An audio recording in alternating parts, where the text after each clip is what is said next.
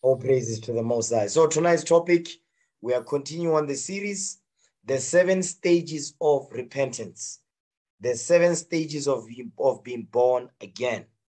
So today we're going to deal with the sixth stage of repentance. Okay, your family life. You must get your family life in order. Okay, so we're going to go over that this day. All right, we're going to go over that this day. Let's open up let's open up with the book of Tobit. Okay. You know what? Give, before you get me Tobit, give me Sirach 25 and 1. Ecclesiasticus 25 and verse 1. Let's read that. The book of Ecclesiasticus, chapter 25, verse 1. Go ahead. In three things I was beautified and stood up beautiful both before God and men. hmm The unity of brethren, Come on. the love of neighbors, Great. a man and a wife that agree together. You see that? It says the unity of brethren that goes into what? That goes into your social life. You understand? The love of neighbors that also goes into your social life. You understand? Which affects your spiritual life, your health life, your work life. You understand? Your financial life. It affects all of that. Okay. And then it says, and a man, a man and a wife that agree together. So now, remember, we're dealing now we're dealing with your family life. Okay, so now as an individual, you've gone through all these stages. You are dealing with each one depending on where you are, where your areas of, of improvement are, where you need to pu- put more focus on, where you need to emphasize on in terms of your life. You understand? So now, before you can deal with your family life, obviously, you need to prove because now you want to start a family. You understand? You've been dealing with all these stages. Now it's time for you to start a family. Watch this. You, the, the first thing that you need to understand is that before you prove a sister, before you prove a brother, you need to know what you want in a spouse. You need to have a standard. You, before you can even think of proving, you must first know what do you want a wife for? What do you want a Lord for? You need to know, you need to have the reasons why you need that. You understand? Now, watch this. Give me the book of Tobit, okay? We must do things decently and in order. Give me Tobit 8, verse 5. Watch this. Tobit 8, verse 5. You have to have a standard, okay? Hmm, You know what? Give me Isaiah. I know I'm jumping ahead, but let me just get it. Give me Isaiah 62, verse 10. Isaiah 62, verse 10. Read that for me. Isaiah 62, verse 10. The book of Isaiah, chapter 62, verse 10. Come on. Go through, go through the gates, Mhm. prepare ye the way of the people. Come on. Cast up, cast up the highway. Gather out the stones, lift up a standard for the people. What did the Bible say? Lift up a standard for the people. Lift up a standard for the people. Lift up a standard for the people. Their standard is the Bible. You understand? Their standard is the Bible. When you come into this truth, you cannot have a type, that same type that you used to have when you was in the world. You understand? You can't have that. You understand? You cannot have, you cannot be looking for the same type of women that you used to look for when you were in the world. You cannot look for the same type of men that you used to look for when you were in the world. When you come into the truth now, the Most High God is going to give you a standard of what you look for in a spouse, what to look for in a Lord, what to look for in a wife, your rib. You understand? Read again, verse 10. The book of the book of Isaiah, chapter 62, verse 10. Come on. Go through, go through the gates. Prepare ye the way of the people. Mhm. Cast up, cast up the highway. Gather out the stones. Lift up a standard for the people. Lift up a standard for the people. Lift up a standard for the people. That standard, give me that in Isaiah 13, verse 1 and 2. We are commanded to lift up a standard to the 12 tribes of Israel. So that when you come into the truth, you go through those five stages. When it's time for you now to say, you know what? I'm looking for a wife now. You know what? I need a Lord now. Guess what? You now understand what is the standard that the Lord has set for the 12 tribes of Israel. Read that. The book of Isaiah, chapter 13, verse 1. Read. The burden of Babylon, which Mhm. Isaiah, the son of Amos, did see. Come on. Lift ye up a banner upon the high mountain. Read. Exalt the voice unto them. Mhm. Shake the hand, that they may go into the gates of the nobles. So the Lord is saying we must lift up a banner upon the high mountain. The high mountain is Babylon the Great in verse 1.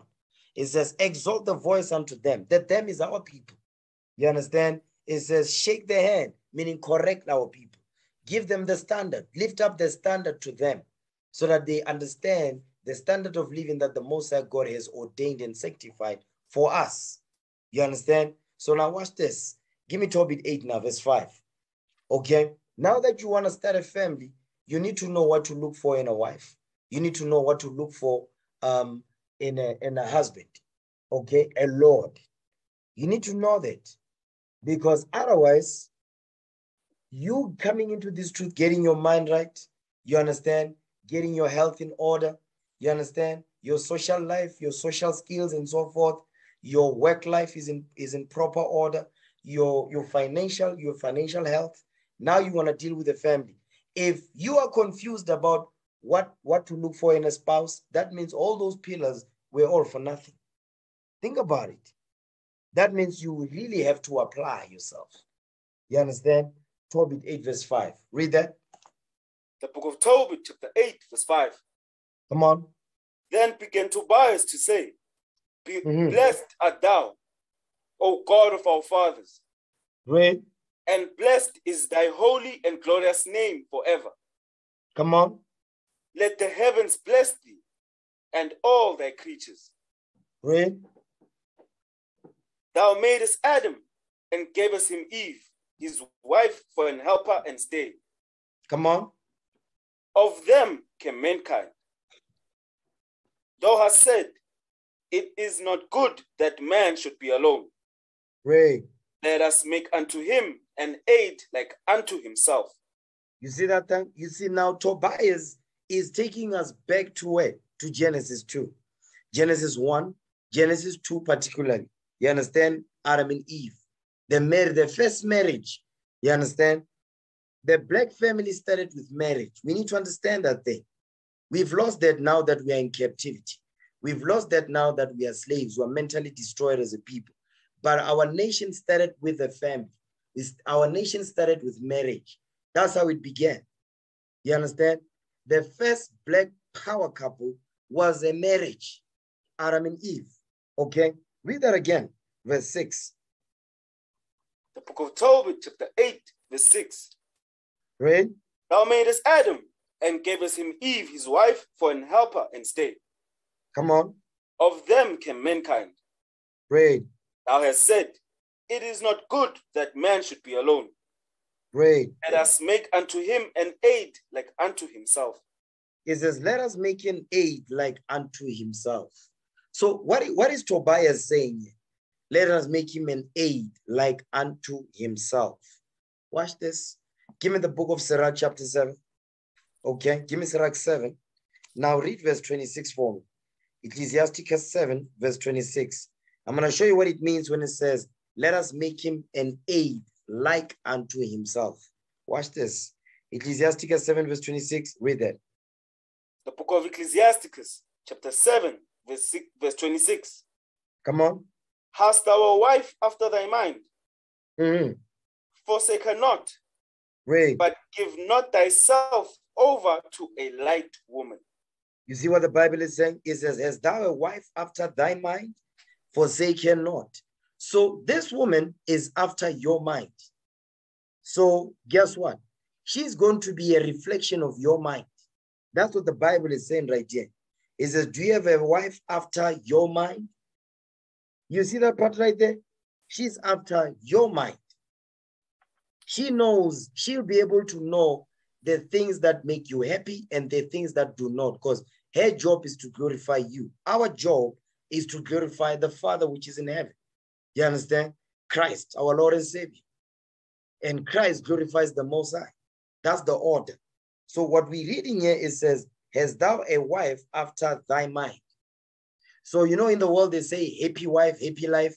That's not in the Bible. You understand? Happy Lord, happy life. Why? Because read that verse again, verse 26. Come on. The book of Ecclesiasticus, chapter 7, verse 26. Read. Hast thou a wife after thy mind? Come on. Forsake her not, Mhm. but give not thyself over to a light woman. So the Bible is saying, it says, if you have, you must, you must look for a wife that is after your mind. Okay. It says, when you find a woman like that, it says, don't forsake that sister. Then it says, but give not thyself over to a light woman, meaning don't give yourself over to a dumb sister. That's what the, that's what God is saying. He says, don't give yourself over to a simpleton, a simple sister. He said, don't do that because she's going to give you problems. That's what the Bible is saying right there. So let's go back to Tobit 8. Now read verse 6 again. The book of Tobit, chapter 8, verse 6. Thou madest Adam and gavest him Eve, his wife, for an helper and stay. Come on. Of them came mankind. Mhm. Thou hast said, It is not good that man should be alone. Let us make unto him an aid like unto himself. You see that? The aid, meaning and help unto himself. A, a wife after his mind. You see that thing? A help meet. A help that is good for him. A help that is after his mind. You understand that? that so when it says a man and a wife that agree together, the wife must agree with the husband, meaning what? Because the husband is the head of the house. So the wife must what? Must submit to her husband. That's what that means. And the husband must lead the wife according to what the Bible says. That's where you're going to have agreement in the house. The house will not be divided. But if the wife is going one direction, the man is going that other direction, the house will always be divided. Guess what? The kids will also be divided as well. And that's the type of life, that's the type of marriage they're also going to look for because they don't have the right example. Okay, read on, verse 7. Verse 7 And now, O Lord, I take not this my sister for last. That's the key right there. That's the standard. You see what you see what the Bible is saying? This is Tobiah, this is Tobias speaking. It says, And now, O Lord, I take not this my sister for lust. So that's the standard right there. You understand? You must have you, you must have a standard. And it's not the standard of is your of your own mind. No, how God laid it down for us. Read that again, verse 7. Tobias was in the full spirit here. Read that thing again. The book of Tobit, chapter 8, verse 7. And now, O Lord, I take not this my sister for lust, Mhm. but uprightly. Go ahead. Therefore, mercifully ordain that we may become aged together. You see that? It says, I take not this my sister for last. So because if you take take the sister, because if you're looking for, for a wife, but you're only looking for somebody to have sex with, listen, that thing's not gonna last. You're not gonna, you're not taking, you, you don't, you're not looking for a wife so you can become aged together. You understand? You know that marriage will not last. That's the that's the recipe for disaster right there is not going to last. Read that thing again, verse 7, so we understand. If it's just for sex, because she's got big booty, big breast, she's a pretty face, that marriage is not going to last. Because what is she bringing to the table besides having a pretty face, having a big chest and a big booty and big curves? What else is she bringing to the table? Nothing. That marriage is not going to last. So if that's your standard, guess what? You're in the wrong place. You understand? That marriage is not going to last. Read that thing again, verse 7. The book of Tobit, chapter 8, verse 7. Go ahead. And now, O Lord, I take Mhm. not this my sister for lust, but Wait. uprightly. Therefore, therefore, mercifully ordain that we may become aged together. Remember, Tobias is praying.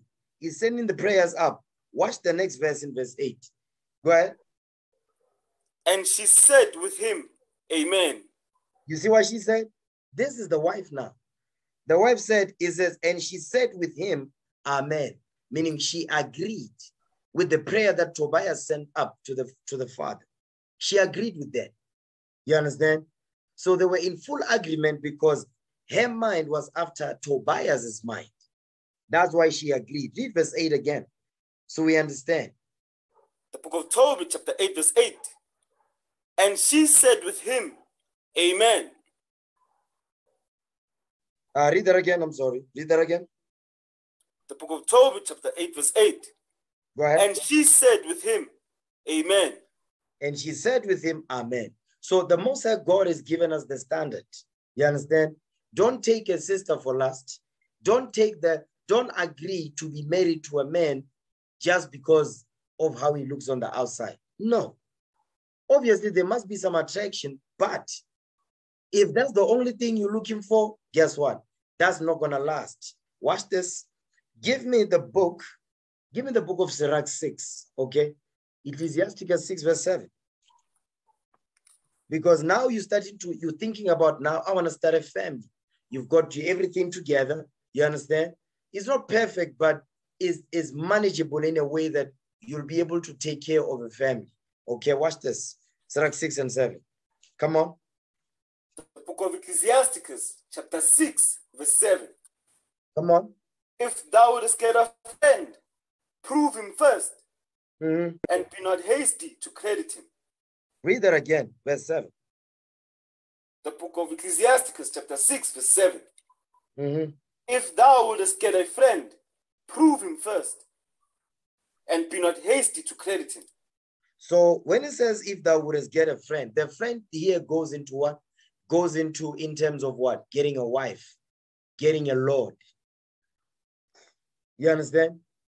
That's the friend here. He says, if thou wouldest get a friend, prove him first and be not hasty to credit him. What is the Lord saying? The Most High is saying, take your time. That's what the Lord is saying right there. Take your time. Don't be in a rush. And how, this is how you prove him or her. Watch this. Give me the book of First John 4, verse 1. First John 4, verse 1. If you were to get us, if you were, if you were to get a friend, you must prove them first. Don't be hasty to credit them. The reason why you see marriages don't last, you understand? Family gets broken up is because proving was not involved. You understand? So now that we come in Israel, guess what? We must learn the right way. We must learn anew. We must do things again from the way the Lord commanded us because we've not been doing it the right way. Okay? First John 4, verse 1. Read that. First book of John, chapter 4, verse 1. Come on. Beloved, believe not every spirit, Mhm. but try the spirits, whether they are of God. Read. Because many false prophets are gone out into the world. You see what the Bible is saying? It says, believe not every spirit. Because guess what? A brother will tell you everything, whatever, it will tell you what you want to hear. A sister will tell you what they, what they think you want to hear. You understand? They are not going to keep it 100. So the scriptures is there to do, even if now that we was in the world, we used to lie, we used to speak evil, we used to just to get what we want. But now that we can, we are in the truth now, guess what we must do now? We get our minds right. You understand? We keep the commandments, we apply, we examine ourselves. Guess what? The Lord is, is saying you still gotta prove them. You still have to prove them. Yes, they are in the truth with you. Yes, you, you hear good report of the brother. Yes, you hear good report of the sister, but you still need to prove them. Even though we say that's a good sister right there, that's a good brother right there, but you still need to prove the Negro. Because you still need to prove the brother because he just might still be in his Negro state of mind. He's just hiding it very well.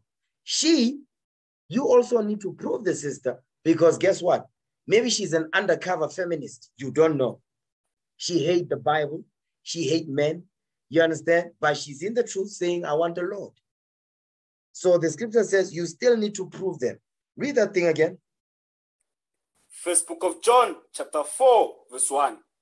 Mhm. Beloved, believe not every spirit, Go ahead. but try the spirits, whether they are of God. Read. Because many false prophets are gone out into the world. Meaning what? What is he saying? There's going to be lies that will be popping out. So your job is to do what? Your job is to prove them. So that means the sister must know must know, must know the scripts. The brother, you need to study. You need to apply the scriptures, because the only the reason why you even know each other is because of what? Is because of the Bible. So when you prove you are not using the Bible to prove, guess what? That marriage also will not be successful. Because the only reason why you know the brother in the first place is because the Bible is what brought you together. The Bible is the reason why you are in here. The Bible is the reason why you know the brother, you know the sister. So guess what? During the proving process, you have to open the book to prove the brother, to prove the sister, according to what that said the Lord. Watch this. Give me the book of Sirach 22, verse 19. Ecclesiasticus 22, verse 19. It says, If thou wouldest get a friend, prove them first, and don't be hasty to credit them. Read that. Sirach 22, verse 19. Come on. The book of Ecclesiasticus, chapter 22, verse 19. Read. He that pricketh the eye will make tears to fall, Come on. and he that pricketh the heart maketh it to show her knowledge. You see what the Bible is saying? It says, He that pricketh the eye will make tears to fall because you are irritating the eye. So the tears will come out in order to do what? To clean the eye. So it says, likewise, it says what? It says, So, and he that pricketh the heart maketh it, the it is the heart, to show her knowledge. The only way you're going to know what's in the man's mind, what's in the sister's mind, you must prick their mind. Meaning what? You must question them. You must prove them with the Bible. Then the Lord says, guess what's going to happen? It says, it will show her knowledge. So then you are proving them whether they are of God. That's what you're doing. You're proving to see their intent. You understand? Get that in Hebrews 4. Hebrews chapter 4, because the Bible is the only book that we're going to be able to reveal the intent of the mind. Hebrews chapter 4 and verse 12. Watch this. Hebrews 4, verse 12. Read that. The book of Hebrews, chapter 4, verse 12. Mhm. For the word of God is quick and powerful, and sharper than any two edged sword, Pray. piercing even to the dividing asunder of soul and spirit, Pray. and of the joints and marrow, Mhm. and is a discerner of the thoughts and intents of the heart. You see that? So a lot of brothers and sisters, you overlook that part because you're looking at the fact that the brother is tall, he's dark, he's handsome, and so forth. You focusing on that. You understand? He's a pretty face, he's a yellow bone. That's your focus. Mm-mm. The Bible says you must use the scriptures to prove a brother. You use the scriptures to prove a sister. Because it says what? It says the word of God is a what? It says is a discerner of the thoughts and intents of the heart. So when you prick the mind, guess what? You're gonna be able to know what? You're gonna know their thoughts and their intent of do they actually want to get married because they want to grow all together? They want to build a family, they want to raise kids. You understand? They wanna they they, they wanna raise up their, their nation, they wanna they wanna make marriage honorable, like the Lord says it is. You need to be able to investigate those things. The only way you're going to be able to pick up the intents and thoughts of the heart, you cannot use your own mind. You must use the scripts. That's the only way to pop that out. Watch this. Give me Sirach 27, verse 5. Ecclesiasticus chapter 27, verse 5. The book of Ecclesiasticus, chapter 27, verse 5. Read. The furnace proveth the potter's vessels, Mhm. So the trial of, a, of man is in his reasoning. You see that? The, the furnace that goes into the oven, the fire, is that it proves the potter's vessel because it needs to be put through the fire so it can be what? It can be hardened and so forth. Then you're going to know if the potter actually put together a good vessel because it was able to withstand the fire. Likewise, it says, so the trial of man is in his reasoning. Because I get you are pricking the mind so that the knowledge can come out. You prick the mind with the word of God. That's what you're doing. Then it says, the trial of a man is in his reason. Because if the brother is in the spirit, or if the sister is in the spirit, how are they going to reason? Get that in uh, Acts. Give me Acts 17, verse 2. This is how they're supposed to reason with you. You understand? They cannot be reasoning out of their own emotions. You understand? This is how they reason. Read that. Acts 17, verse 2. Read what you got. The book of Acts, chapter 17, verse 2. Go ahead. And Paul, as his manner was, went in unto them, and three Sabbath days reasoned with them out of the scriptures. What did he do? Reasoned with them out of the scriptures. So the apostle Paul, he reasoned with them out of the scriptures, not out of his own mind, not out of his own emotions. Mm-mm. He reasoned with them out of the scriptures. Likewise, you see that part right there? Go back to Sirach 27. Sirach 27, verse 5 again. Okay. The book of Ecclesiasticus, chapter 27, verse 5. Mm-hmm. The furnace proveth the potter's vessels. Read. So the trial of man is in his reasoning. You see that? The trial of man is in his reason, his reasoning capacity. Meaning what?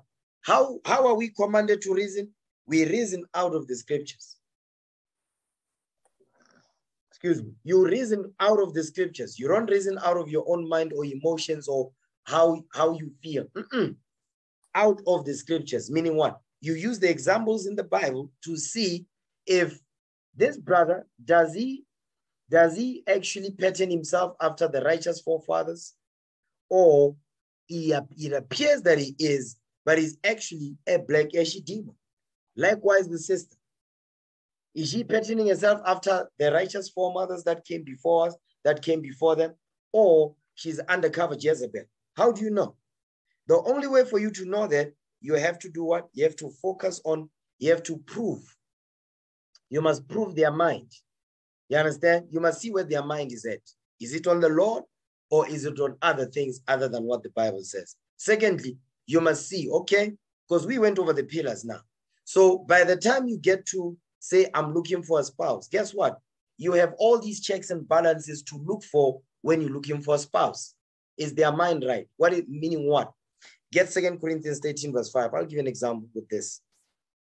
Second Corinthians 13, verse 5. Watch this. Read it.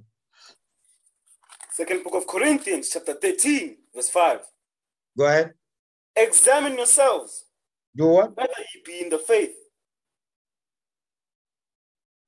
What did the scripture say? Read that again.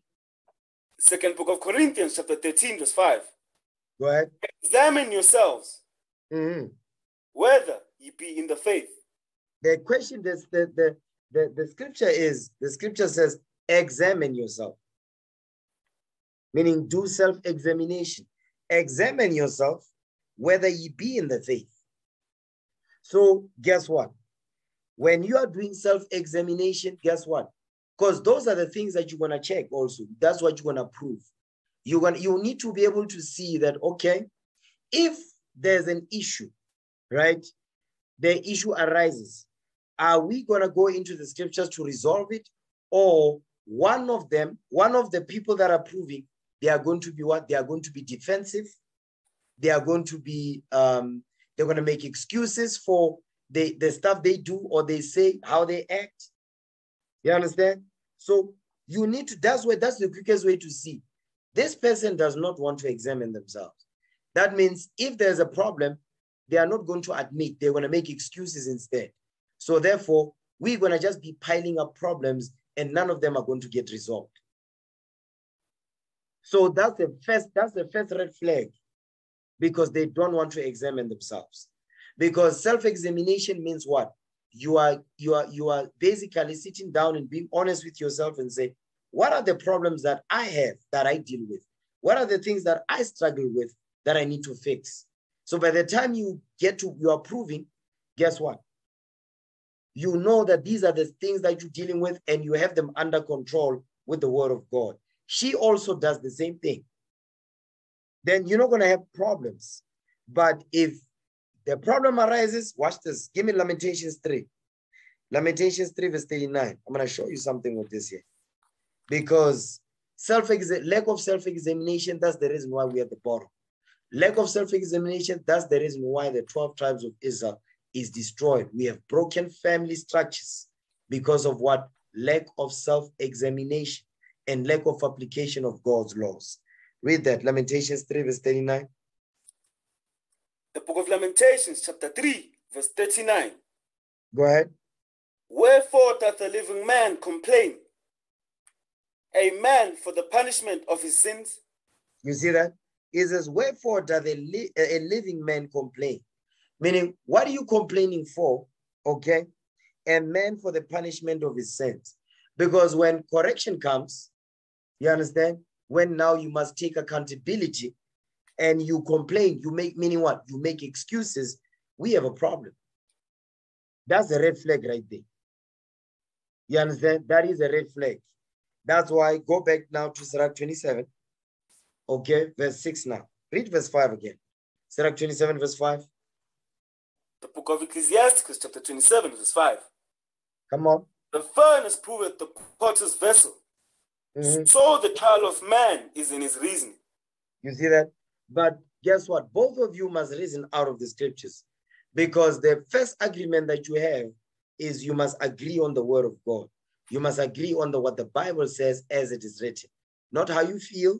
Okay, no, based on what God says. Okay, read on.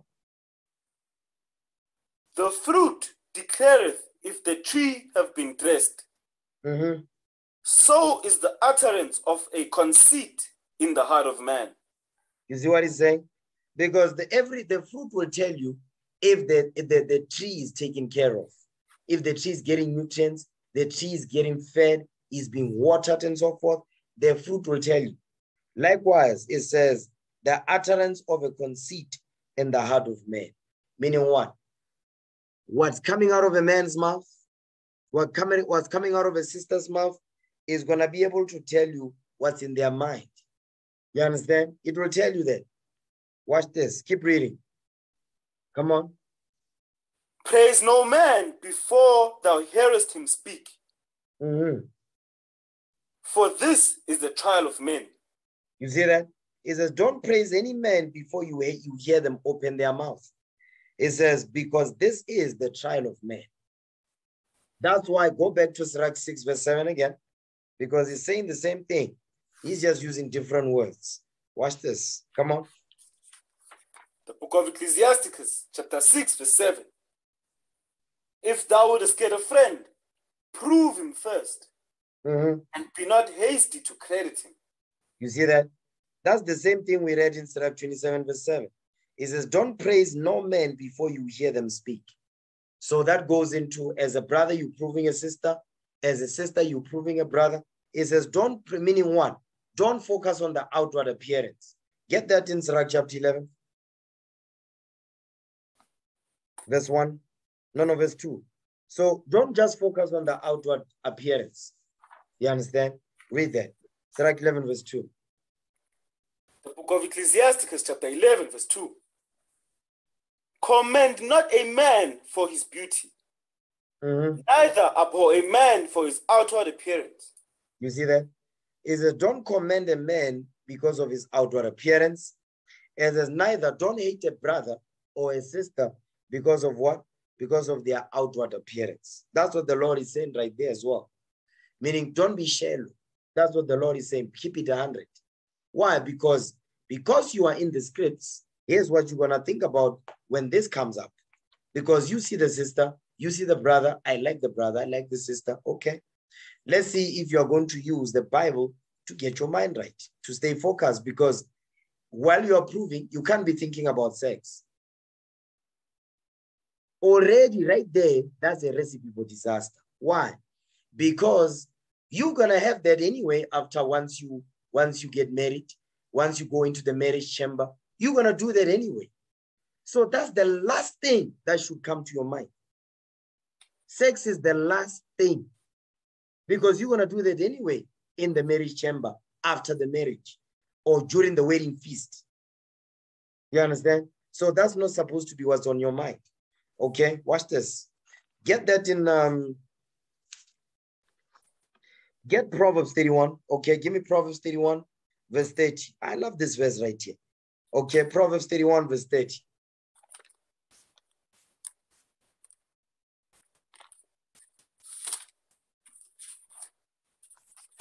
The book of Proverbs, chapter 31, verse 30.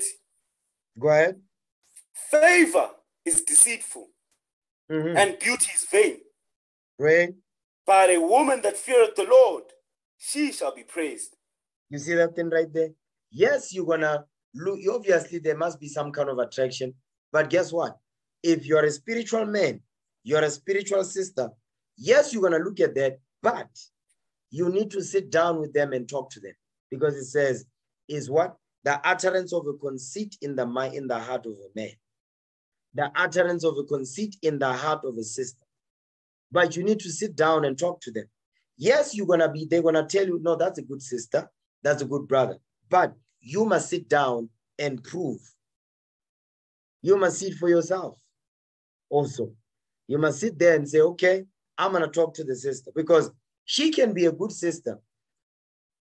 You can be a good brother. But the, the problem could be that the two of you are not a good match. Anybody understand what I'm saying? Yes, sir. Yes, sir. she can be a good sister in the truth, all praises to the Lord. You can be a good brother in the truth, but only to find that the two of you don't match. You understand? That, that can happen as well. But if you don't prove, guess what's going to happen? You're going to have problems because there's things that will pop up that you, you realize that if you knew, you wouldn't be, you, you, you actually wouldn't be in this mess. You understand? So now watch this. Get John 7 24.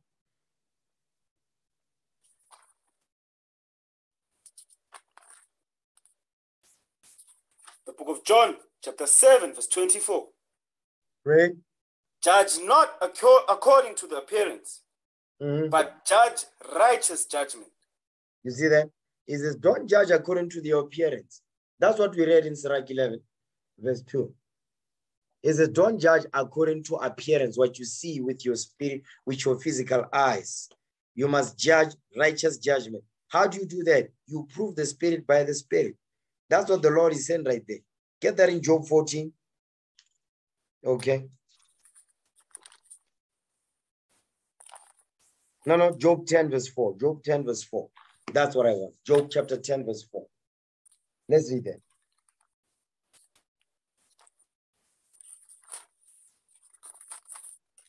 The book of Job, chapter 10, verse 4. Read. Hast thou eyes of flesh, or seest thou as men seeth? You see what the Bible is asking? It says, Hast thou eyes of flesh, or seest thou as man seeth? Meaning what? You are judging with your physical eyes, not with your spiritual eyes. Because your spiritual eyes will tell you, I need to sit down with them and what? And prove them. You understand? You must see where their mind is at. Now, one. Two, you need to be able to see do they love themselves enough to eat well? You understand? Do they love themselves enough to what? To exercise, to take care of themselves? You understand? Because if they if they don't want to make an effort to take care of themselves, there is no way in hell they will take care of you. You understand? So you have to be able to see that. So mean what? They care about their health, what they eat, how they eat, when they eat. They care about those things because you care about them. So because it's written in the Bible. So the two of you must agree on that. You understand? Then your social skills. Can is there somebody you can conversate with and so forth? You see that thing? Because when when you grow older, that's all you're gonna have left. Conversation. You understand? You will have you that's all you're gonna have conversations and the life that you've been living and so forth the mistakes that was made, you rectified with the laws of God, the trials that the Lord brought into your marriage, so on and so forth. You understand? Because that's what you're gonna have. Conversation when you grow older. So you better make sure that on a social level, you are able to what? To commune with the person and so forth. These are things you need to look out for. You understand? Their work life. Because their work life means that they'll be able to take care of the family once you start to have a family. You understand? The sister's not a lazy bum. The brother is not a bum as well. You understand? You have a you have a you have a you have you have you have work ethic. You see that? So not only that, you need to be able to check, okay, are you financially healthy? Okay, these are things that you need to ask. So you going through the list. The list, the reason why the list is created is so that you can be able to what? You're gonna use those different points to prove a brother and or a sister. Okay, that's gonna help you. Watch this. Give me the book of Isaiah. Okay, give me Isaiah 11, verse 1.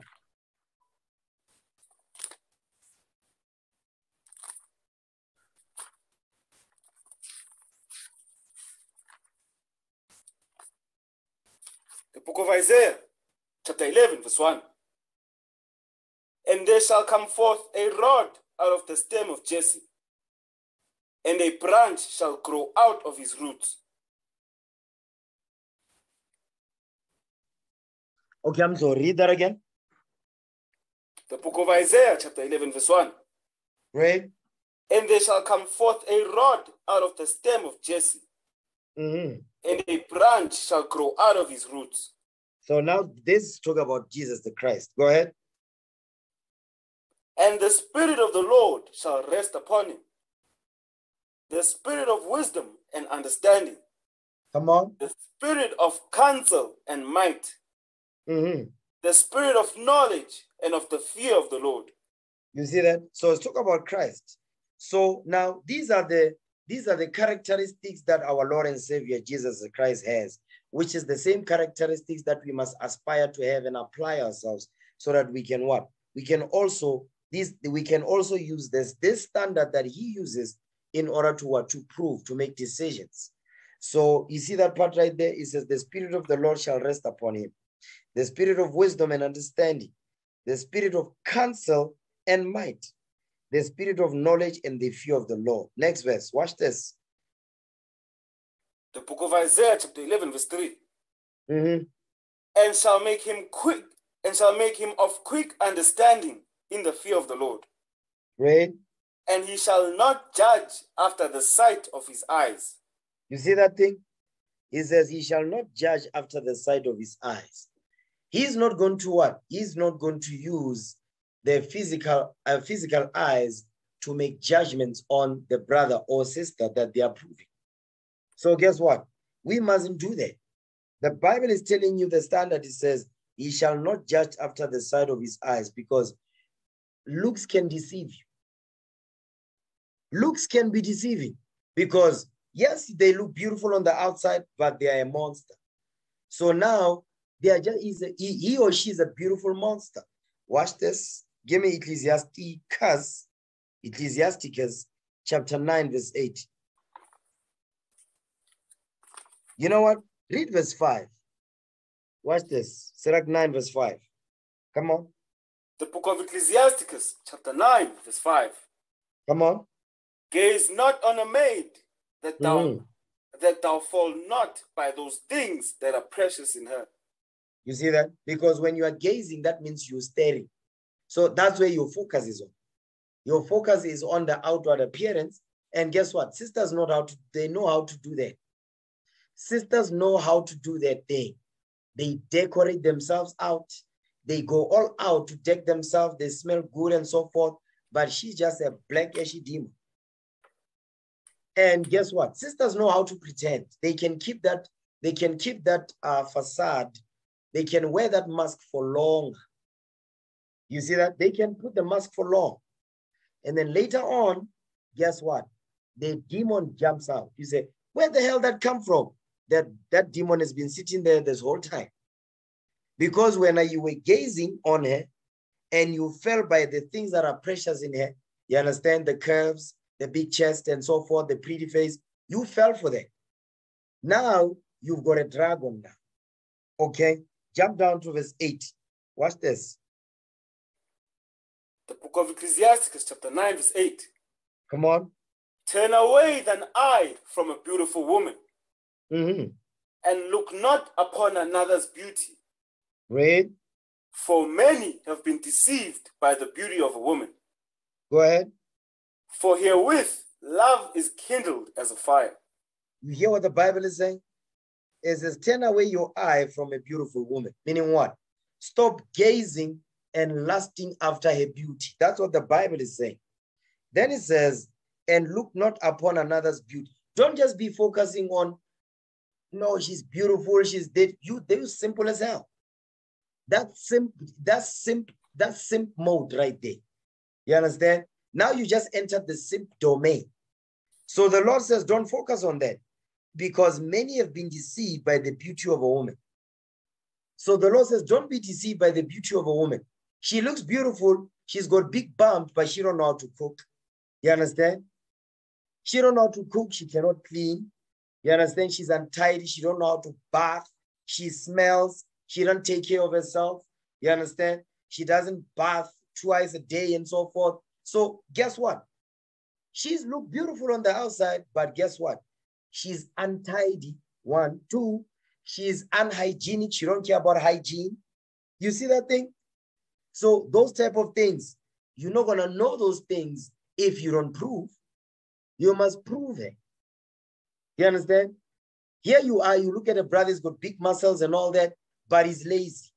He's a bum. You understand? He doesn't want to work. So how are you going to take care of your family and so forth? They don't care about their nation. So how's that going to happen? You what you have, you have a, you just have an overgrown baby. That's what you've got. You understand? So that's what the Lord says. Don't look, don't focus on the outward appearance. Yes, the attraction is going to be there, but that's not your main focus. Your 99, 90, 99.9% of your focus is going to be on what? The utterance of a conceit in the mind of a man. The utterance of a conceit in the mind of the sister. That's going to be your focus. That's what the Most High God is teaching us right there. Watch this. Give me Proverbs 6 because this is a big one. Okay. The lust of the eyes. Ah, that's a big one in Israel. Watch this. Mm. Proverbs 6, verse 24. Because King Solomon, he explained this thing to us. Because remember, he had a thousand women. And all of them was dumb as hell. No one, all of them.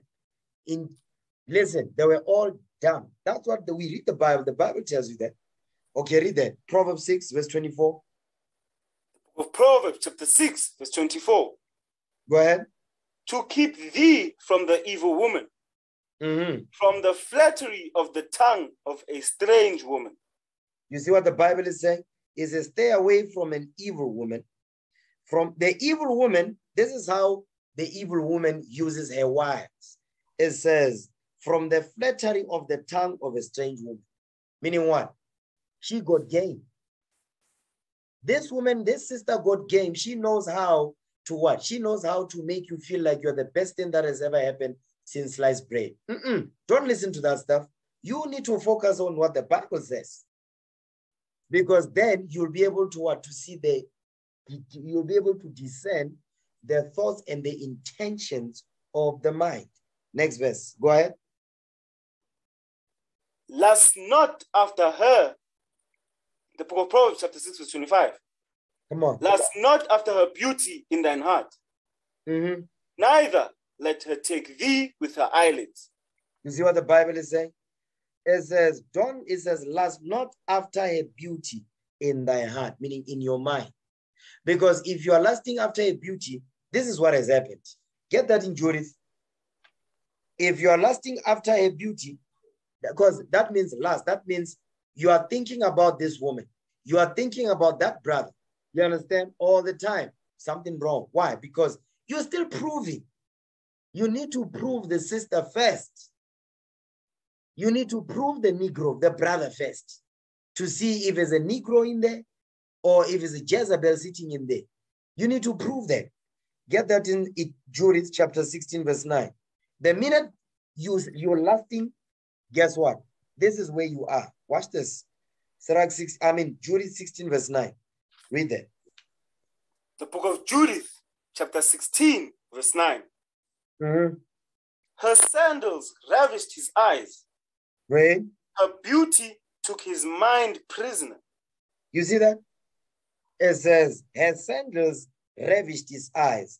Because who gets ravished by, by somebody's sandals? No. This Negro right here, he's got a foot fetish. That, that's the Negro right there. It says, her beauty took, it says what? Her beauty took his mind prisoner. That's when the lust comes in. Because her beauty now has taken hold of your mind and is, is holding it captive, prisoner. You gone. You're not gonna look at, you're not gonna see the red flags. You're not gonna see your something wrong. This sister is beautiful, but she's crazy. This sister is beautiful, but she's a dragon. This sister is beautiful, but she's just Jezebel. You understand? She has no respect. She has got a big mouth. You see that thing? So because your mind is what? Has been taken prisoner by her beauty, you're just gonna overlook all those red flags. You understand? That is gonna what? Which are a recipe for disaster. That marriage will not last. It's not if or maybe. It's not gonna work out. That's what the that's what the Lord is teaching us here. Read that thing again, verse 9. Go ahead. The book of Judith, chapter 16, verse 9. Mm-hmm. Her sandals ravished his eyes. Mm-hmm. Her beauty took his mind prisoner. Go ahead. And the fauchion passed through his necks. The fauchion, that's a blade. Okay. So, but what I'm showing you is when you are proving, it says, prove them first, prove him or her first. Guess what? These are the things that you need to be mindful of. Go back to Proverbs 6. Proverbs 6, verse 25 again.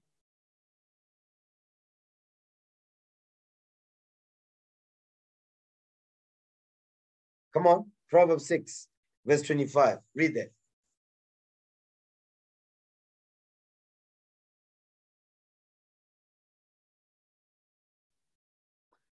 Okay, Soldier Samuel, can you hear me?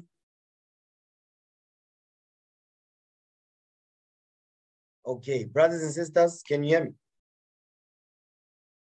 Yes, sir. Yes, sir. Okay. Um, is Soldier Samuel still online? Yeah, I don't see him. Okay, maybe he's having network issues. Hmm. Okay, just let's give him another maybe less than a minute. Let's see if he'll pop up. Okay. But I hope you brothers and sisters understand what's coming out here. Your focus cannot be on the windscreen. You can't be window shopping when you are proving a system. Because when you're window shopping, you don't, can't even fit the stuff. You just shopping through the window. You can't touch it. You can only look at it. You look, but you don't touch. You understand? So we need to be mindful of that thing. The Lord, the Most High God has given us the blueprint on how to deal with this stuff. Okay, um, Soldier Nehemiah, I need you to pick it up. Read that. Proverbs 6, verse 25. Put some power in your reading. Yes, sir.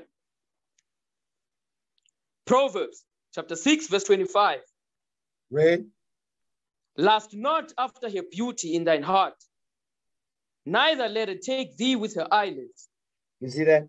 Is that don't let her take you by, by her eyelids. Meaning what?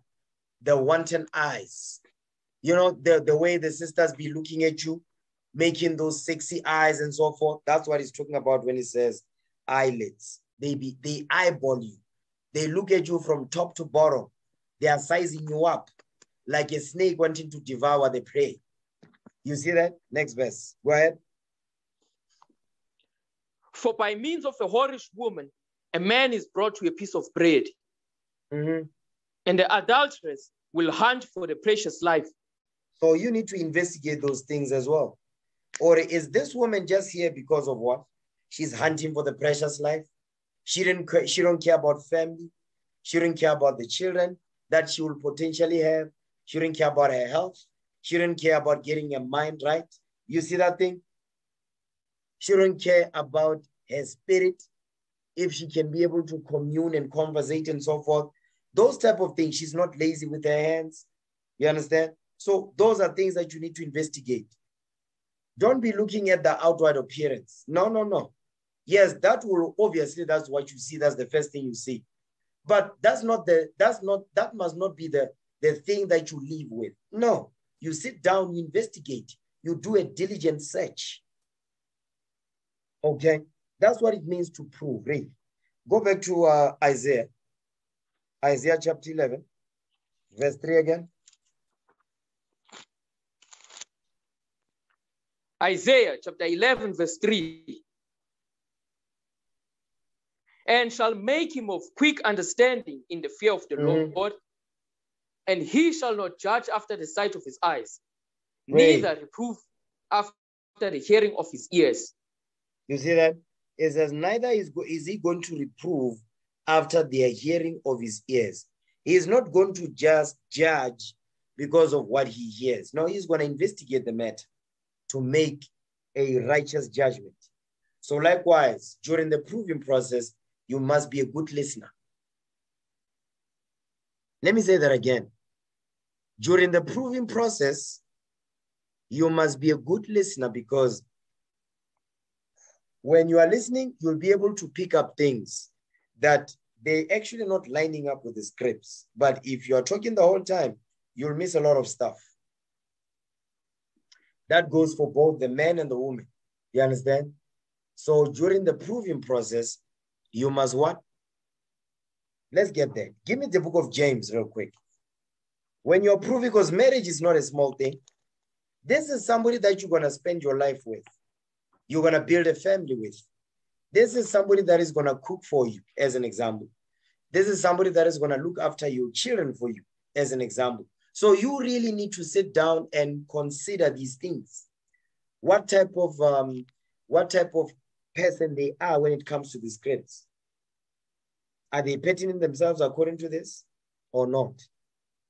You need to know that because if they are not, when problems arises, they're not going to go to the Bible. They're going to go to their emotions.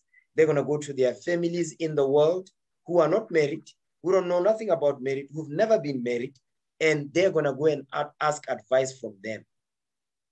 You understand? Or ask advice from those that they had failed marriages. They never, they never got married even at all. They're going to go to those people in the world. You see that thing? So get let's get that in James. Watch this. James chapter 1 and verse verse 19. James 1 verse 19. Watch this. James chapter 1, verse 19. Come on. Wherefore, my beloved brethren, let every man be swift to hear, slow to speak, and slow to wrath. Uh-huh. You see that? It says, Wherefore, my beloved brethren, let every man be swift to hear, slow to speak. During the proving process, listen, you must be able to, you, you must you must be a good listener. You must listen more and talk less. You understand? So that's what you- your job is to do that. If you're focusing on the booty, you're focusing on the on the muscle, guess what? That's not going to last because the Lord will tell you is his beauty is vain. But a woman that fears the Lord, she shall be praised. A brother that um, has a good name, he's going to be praised for his good name, the good works that he's putting forth, not because of his good looks. The Most High God is giving us what we need to stay focused because marriage is a weighty matter. You understand? That's why it says prove. Let's go there in Sirach 7. Marriage is a weighty matter. Don't get it twisted. Okay? Sirach chapter 7, verse 25. Read that. Ecclesiasticus chapter 7, verse 25. Mhm. Marry thy daughter, and so shalt thou have performed a weighty matter. You see that? And so shall thou have performed a weighty matter. Marriage is a heavy matter. It's not, it's not something to play with. It's not, you have to really have gone through these steps that we are now we are now putting putting forth so you can be able to use that as a as a as a as an anchor for you to what? To say, okay, these are the things that are these are the areas I need to work on before I can even think of saying I want a wife. I want a Lord. Before you can even do that, you need to you need to consider that. that marriage is a weighty matter. You understand? Now, go back to Sirach 6 and 7 now. Now that we understand, Sirach 6 and 7. Okay. Ecclesiasticus chapter 6, verse 7. Go ahead. If thou would gettest a friend, prove him first, and be Mhm. not hasty to credit him. You see that? Don't be hasty to credit them.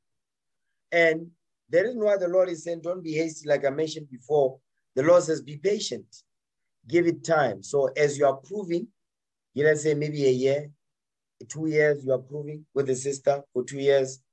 That that's enough. That's I wouldn't say enough time, but it's it's a good amount of time for for to go through things. While you are proving.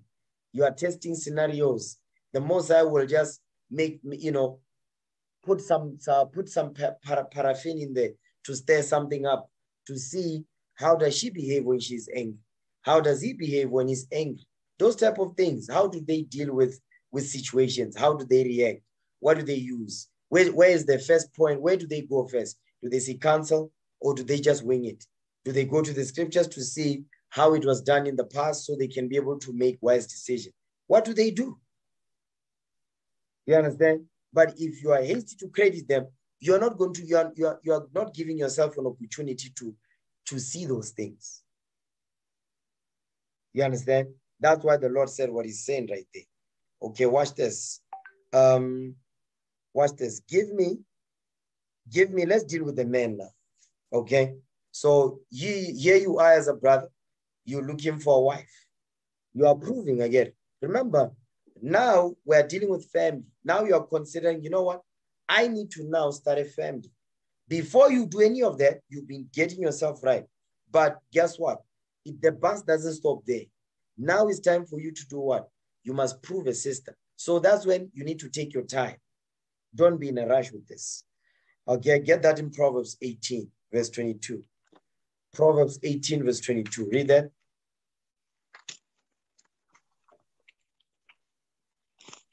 Proverbs chapter 18, verse 22. Mhm. Whoso findeth a wife findeth a good thing and Yeah. obtaineth favor of the Lord. You see what he's saying? He says, Whoso findeth a wife findeth a good thing. Because guess what? A, a, a wife like our foremother Judith, our foremother Sarah, you understand?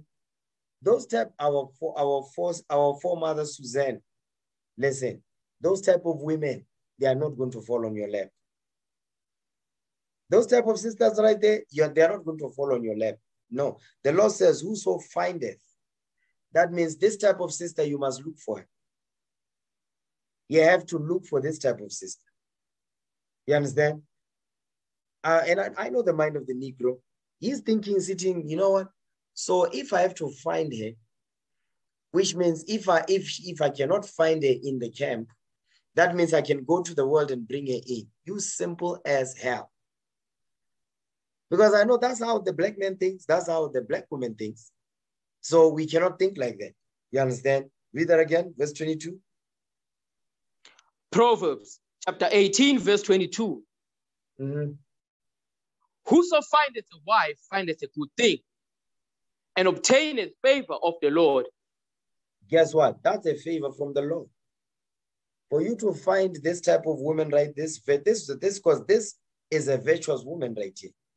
For you to find a virtuous wife, that's a favor from the Most High God right there.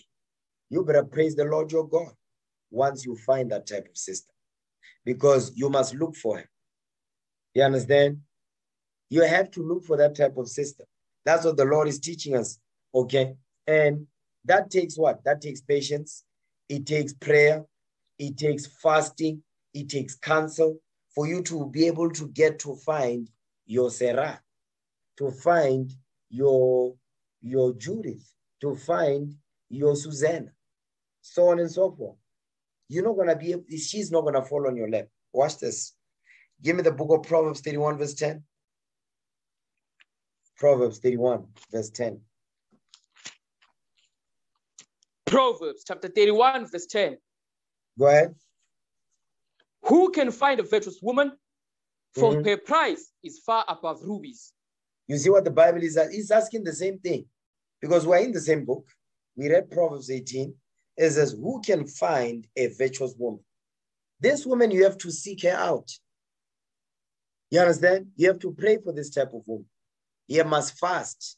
You must get into consistent fasting, pray to the Lord, apply God's commandments. You must study.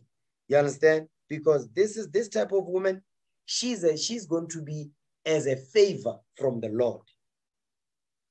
You see that? But if you're Speedy Gonzalez, you're going to get the gift of Satan. Read that thing again. Proverbs chapter 31, verse 10. Come on. Who can find a virtuous woman?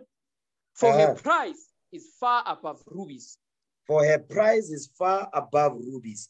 Meaning this type of sister. Get that in Sirach 26 and 1. Who can find a virtuous woman? Because you have to find her. Okay, that's why it says, who can find it? You have to find it. You know what? Before you get there, before you get there, get Ecclesiastes. Because this is King Solomon. No, no. This is King Solomon's mother teaching him, the giving him the characteristics of a virtuous wife. Because Bathsheba, she find she got her mind right. You understand? And she became this virtuous woman that we're reading about here. Now she's advising his son, her son on what to what type what what does a virtuous woman look like. Now watch this. Um, get Ecclesiastes chapter 7, verse 27.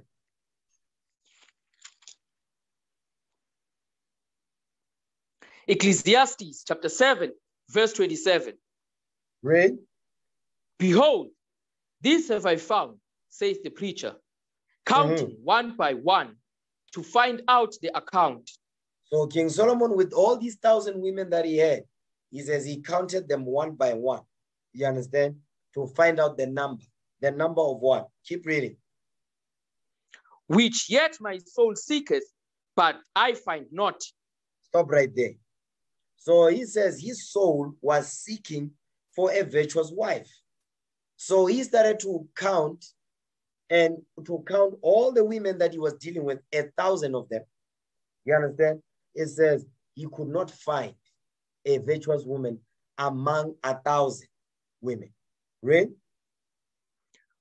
One man among a thousand have I found, but a woman among all those have I not found.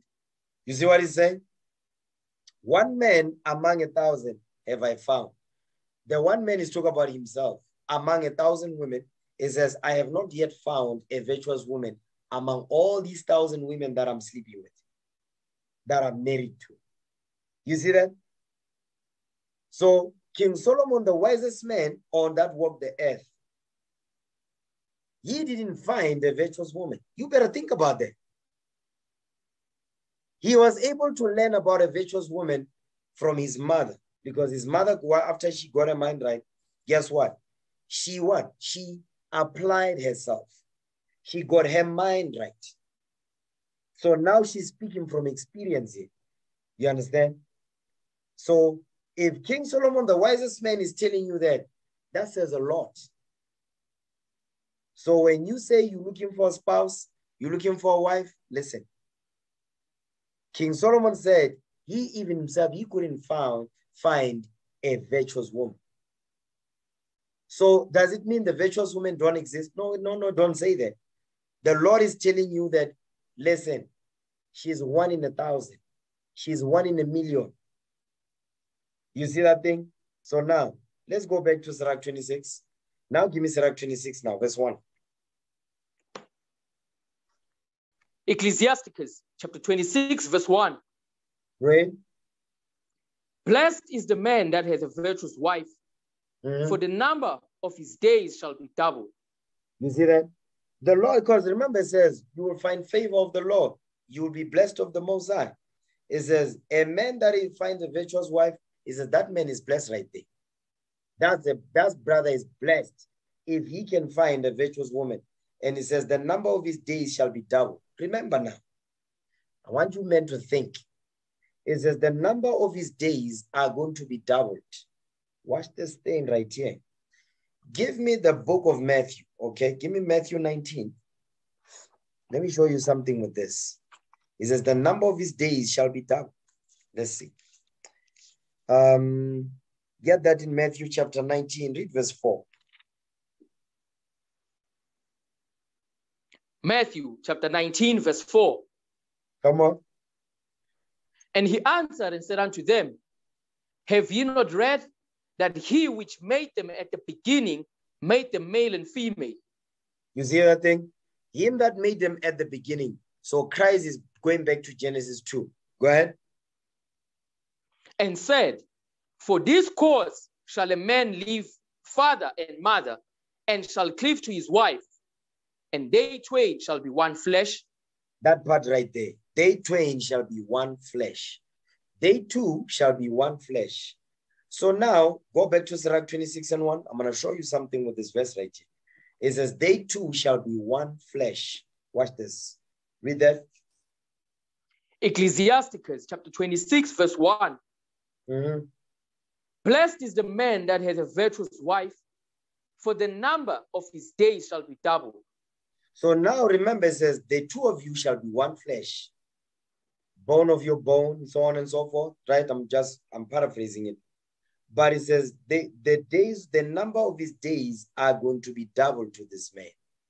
So what is this telling you? This is telling us that, by the way, the Lord is teaching us that, okay, because you are one flesh, if you don't have a virtuous wife, your days are, are going to be what? Your days are going to be shortened on this earth because the two of you are one flesh. So if you have a dragon, you have a beautiful monster on your hands, your, the number of your days are going to be shortened. They are not going to be doubled because what she does affects you. Negative. What he does affects you. But here we're dealing with the sister. If she's not this type of woman that the Lord is describing here, the sister with high moral standards, because that's what it means to be virtuous. Guess what? The number of your days are going to be shortened on this earth. So when you are proving, you brothers, you must think about that. Okay? You must think about that thing. Keep reading. Verse 2. Ecclesiasticus chapter 26, verse 2. A virtuous woman rejoiceth her husband, and he shall fulfill the years of his life in peace. You see that? Because she is a pillar of rest. She is not a pillar of salt. No, she is a pillar of rest. That's why it says, He shall fulfill the years of his double life in peace. Because remember, says, The number of his days shall be double. So, verse 2 is letting you know more benefits of finding this virtuous woman. It says, The number, it says, What? He shall fulfill the years of his life in peace. So, if you have a dragon, you're not going to fulfill the, the years of your life in peace. You're going to die early because of what? You're gonna stroke, whatever the case may be. Get that. Let me show you. Get that in Sirach 30. Okay. Sirach chapter 30, verse 21. No, no, verse 22. Sirach 31, Sirach 30, and verse 22. Watch this. Read that thing for me. Ecclesiasticus chapter 30, verse 22. Mhm. The gladness of the heart is the life of man, Read. And the joyfulness of a man prolongeth his days. It says, The joyfulness of a man prolongeth his days. That's what we just read in Sirach 26. The joyful of a man, because the virtuous woman, guess what? She is going to bring what? She's going to bring joy and gladness to her husband. He says, A virtuous woman rejoiceth her husband, and he shall fulfill the years of his life in peace. So that's what we read in here, right? Now, watch this next verse, verse 23. Love thine own soul and Mhm. comfort their heart. Remove sorrow far from thee. For sorrow has killed many, and there is no profit therein. But so what I want to show you here is this. It says love your own soul. So when you are proving you rush, guess what? You don't love your own soul. You're proving a sister. You're proving a brother. You are rushing because you are horny, you are thirsty. You understand? You are a first bucket. Guess what's going to happen? It says, love thine own soul. When you're rushing, because the scripture says, be not hasty to credit him. Don't be hasty to credit him. The law says, Love your own soul and comfort your heart with the scriptures. Remove sorrow far from you. You see that? For sorrow hath killed many, and there is no profit therein. Why? Because you didn't take your time to look for this virtuous woman. You was rushing. So now you have sorrow of mind. Guess what? You're gonna die young. The number of your days shall be shortened, not doubled.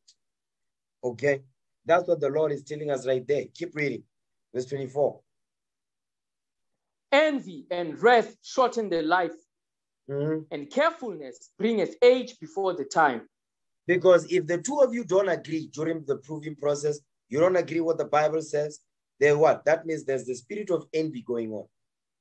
There, you understand? Which will bring forth wrath, anger, bitterness. It says that's going to shorten your life. And carefulness, meaning stress, will bring your age before the time. The number of your days will be shortened. That's what the Lord is saying right there. So be very mindful, okay? Be very mindful of that thing. Now, go back to Sirach now 26. Okay, Sirach 26, verse 3. Read that. Ecclesiasticus chapter 26, verse 3. Mhm. A good wife is a good portion, which shall be given in the portion of them that fear the Lord. You see that part right there? A good wife, that's a good portion. It says, We shall be given in the portion of them that fear the Lord. If you fear the Lord, you will receive this, this good portion. What will be the good portion? That virtuous woman. That virtuous woman will be your portion. Go back to Proverbs 18. Okay. Go back to Proverbs 18. Verse 22 again. Proverbs chapter 18, verse 22. Mhm. Whoso findeth a wife findeth a good thing and obtaineth favor of the Lord. You see that? You'll obtain favor of the Lord. That's why he says, and he says, we shall be given in the portion of them that fear the Lord, because that's a favor from the Most High. That's favor from the from the Most High, his son, and the angels. Everybody's in agreement with that brother right there must be married to that sister, must marry that sister. That sister must be married to that brother right there. The Most High God is approving it from the heavens. The Lord, the Christ is approving. The angels are in agreement. Guess what? You, the Lord will say, okay, give him that portion. Give him that gift, a virtuous wife. That's a gift from the Lord. Understand that. That right there, she's a gift from the Lord. And a virtuous woman doesn't just pop out of nowhere. No, she must be built. A virtuous woman must be must be put together by the leadership of the nation. We are, our job is to what? Is to is to clean that sister who's there got that Jezebel, that Jezebel-minded sister. Our job is to clean her out and do what? And remove the filthiness out of her mind. Then we begin to build her up and plant her in the spirit of Christ. Then we groom her to become that virtuous woman. And guess what? That thing takes time. It's not a two-year program. It's not a three-year program. It's not a four-year program. It takes time for that to take place. So that's why the Lord says, don't be hasty to credit them. Why? Because you need to take time. You understand? Watch this. Now, uh, go back to Proverbs 31. Okay. Let's go back. Proverbs 31. Read verse 10 again. Proverbs chapter 31, verse 10. Mhm. Who can find a virtuous woman? For her price is far above rubies. He says, for her price is far above rubies. Meaning you cannot compare this sister with anything. She's priceless. That's a gift of the Lord. Why? Because guess what? You prayed for the sister, you fasted to get this type of woman, you apply, you seek counsel, you do the work of the Lord. You understand? Your mind is focused on God's laws. Guess what? That type of sister, she must be groomed. You as that, you as that alpha male, you also must be groomed. Don't get it twisted. I'm gonna, I'm coming to that next. Watch this. Now, uh, Proverbs 31, read verse 11. Okay. Proverbs chapter 31, verse 11. Read. The heart of a husband that safely trust in her, Mhm. so that he shall have no need of spoil. You see that? It says the heart of a husband does safely trust in her. Meaning what? This woman right here, she knows how to take care of the her Lord. She knows how to do that. It says the heart of a husband does safely trust in her, so that he shall have no need of spoil. Because if this woman, who, who what is the spoil here? It's talking about another man spoiling or defiling this woman. You understand? If you instill God's commandments in her, you teach her, she applies and so forth, and all on all of that. Guess what? There's no need for no, somebody else to come and spoil this woman. That's what the Lord is saying. You understand? So that's why it's important for you to do what? To prove. Next verse. Proverbs chapter 31, verse 12. Read. She will do him good and not evil all the days of her life. You see that? This woman, says she will do him good and not evil all the days of her life. We're going to get some examples, okay? Watch this. Give me Judith 8, okay? Because now I'm going to show you something because we use our foremother Judith as an example, but I want to show you something deeper this day with this. Go, go to Judith now, 8 verse 1. Watch this. Judith 8 verse 1. I want you to see something here. Judith chapter 8, verse 1. Come on. Now, at that time, Judith heard thereof, which was the daughter of Merari, the son of Ox, the son of Joseph, the son of Oziel, the son of Elcia, the son of Ananias, the son of Gideon, the son of Raphaim, the son of Ati, Ashiko, Asitho, the son of Eliu, the son of Eliab, the son of Nathaniel, the son of Samael, the son of Salasadai, the son of Israel. Go ahead. Now, here they are listing um, our foremother Judith, her fathers. Go ahead. And Manasseh was her husband Mhm. of a tribe and kindred who died in the barley harvest. So now Manasseh was Judith's husband. Manasseh was Judith's husband, right? Now I want to I want you to just keep reading. Manasseh was Judith's husband. Keep that in mind. Keep reading. Go ahead. For as he stood overseeing them that bound sheaves in the field, the heat came upon his head, and he fell on his bed and died in the city of Bethulia. And they buried him with his fathers in the field between Dosaim and Palamon. So now our forefather Manasseh, he died of a heat stroke. Okay, that's why it says, For as he stood overseeing them that bound sheaves in the field, okay, the heat came upon his head. So heat stroke, right? Okay, so Manasseh, he was a businessman. You understand? He had multiple businesses and so forth.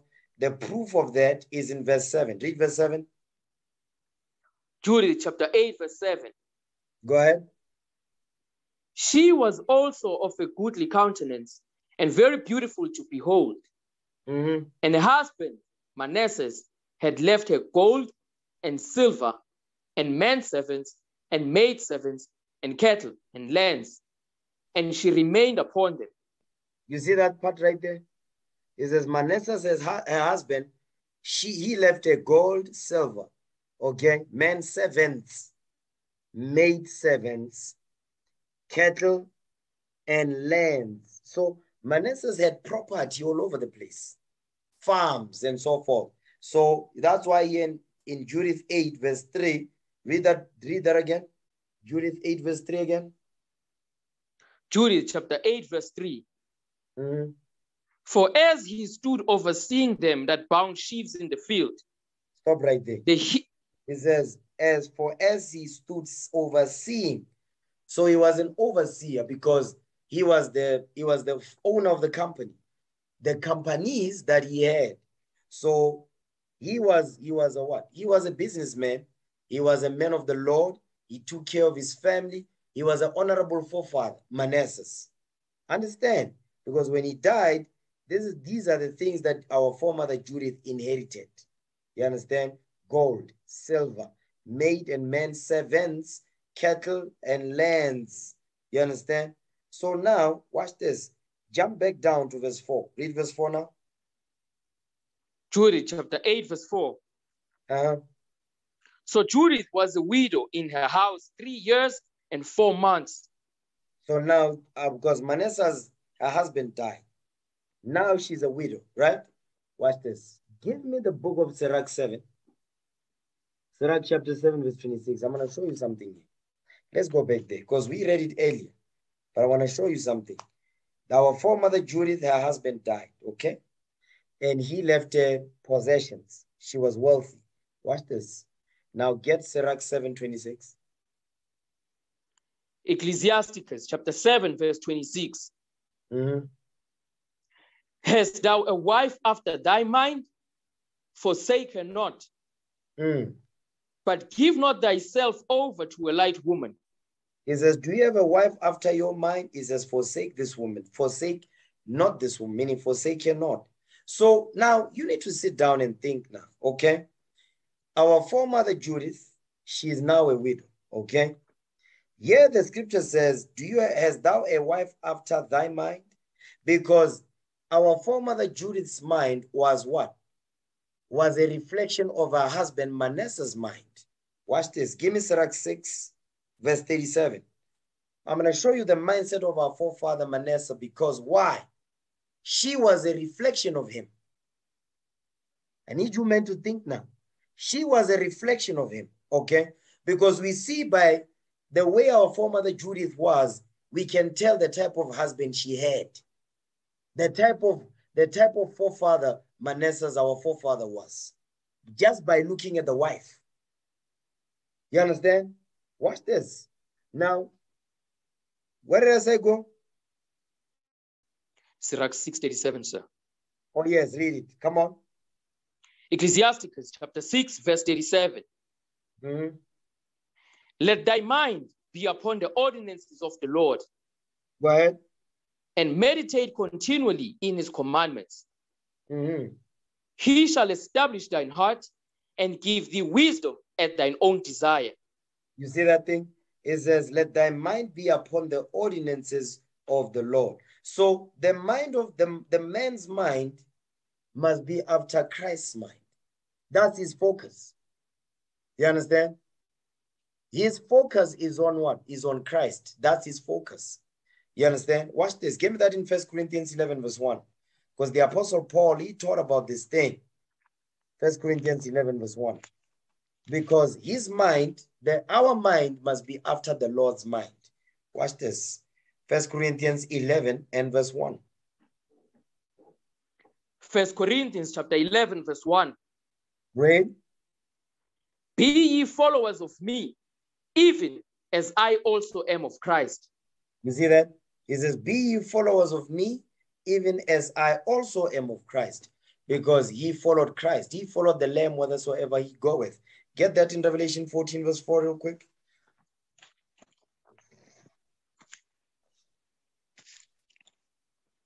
Revelation chapter 14, verse 4. Go ahead.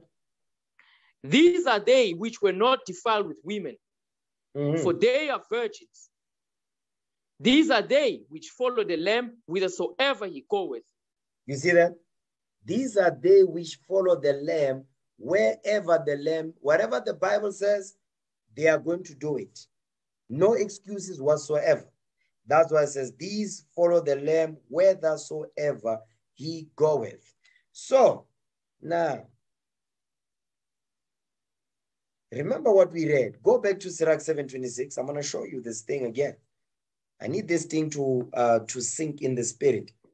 Sirach 726, read it. Ecclesiasticus chapter 7, verse 26. Come on. Hast thou a wife after thy mind?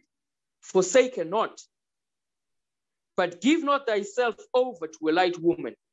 The reason why this is coming out is because Judith, our foremother, her mind was after our forefather Manasseh's mind. Because the two shall be one flesh. But her mind was after her husband's mind. You understand? So she was a one, she was a complete reflection of her husband. Hmm. That's some heavy stuff right there. So Manasseh was an alpha male. Think about that. Our forefather Manasseh was an alpha male because you see how how how how well instructed the mind of our foremother Judith was. You see how disciplined she was because the, the husband was like that. Our forefather Manasseh was like that. So what we read, because we don't read, we don't really read much about our forefather Manasseh, Judith's husband. But guess what? You can see by the wife that you see by the wife how the house was, how Manasseh's how Manasseh's house was. Manasseh's house was in order. Understand that? Okay, watch this. Give me the book of Judith 12, verse 14. I'm going to give an example with this. I'm going to show you how in order that house was. That house was in complete order. And I'll show you this. We, um, I'll prove it with this. Watch this. Judith 12, verse 14. Read that. Judith chapter 12, verse 14. Come on. Then said Judith unto him, Who am I now that I should gainsay my Lord? Mm-hmm. Surely whatsoever pleaseth him, I will do speedily. And it shall be my joy unto the day of my death. Now, I want you to meditate on the scripture right here. It says, you see what she's asking? He says, Who am I now that I should gainsay my Lord? Why is she asking that? She's asking that because she was in complete submission to Manasseh. Because her mind was after his mind. That's why she's saying what he says she's saying here. Because what did our foremother Judith understood? She understood that if I go against my Lord, guess what? I will be an enemy into this house. I will be, I, I will be anti-revolutionary. I'm going to be counter-revolutionary. So our foremother Judith, she was a revolutionary sister. Understand that? She was a revolutionary sister, our foremother Judith. That's why she's saying, Who am I now that I should gainsay my Lord? Because if you gainsay your husband, that means the house is divided. That means you no longer want you no longer desire the, your, the mind of your husband. Your mind is no longer after your husband's mind. Now you're starting to follow Satan. Because that's what Satan does. He causes division. Our foremother Judith understood that. Okay, read again.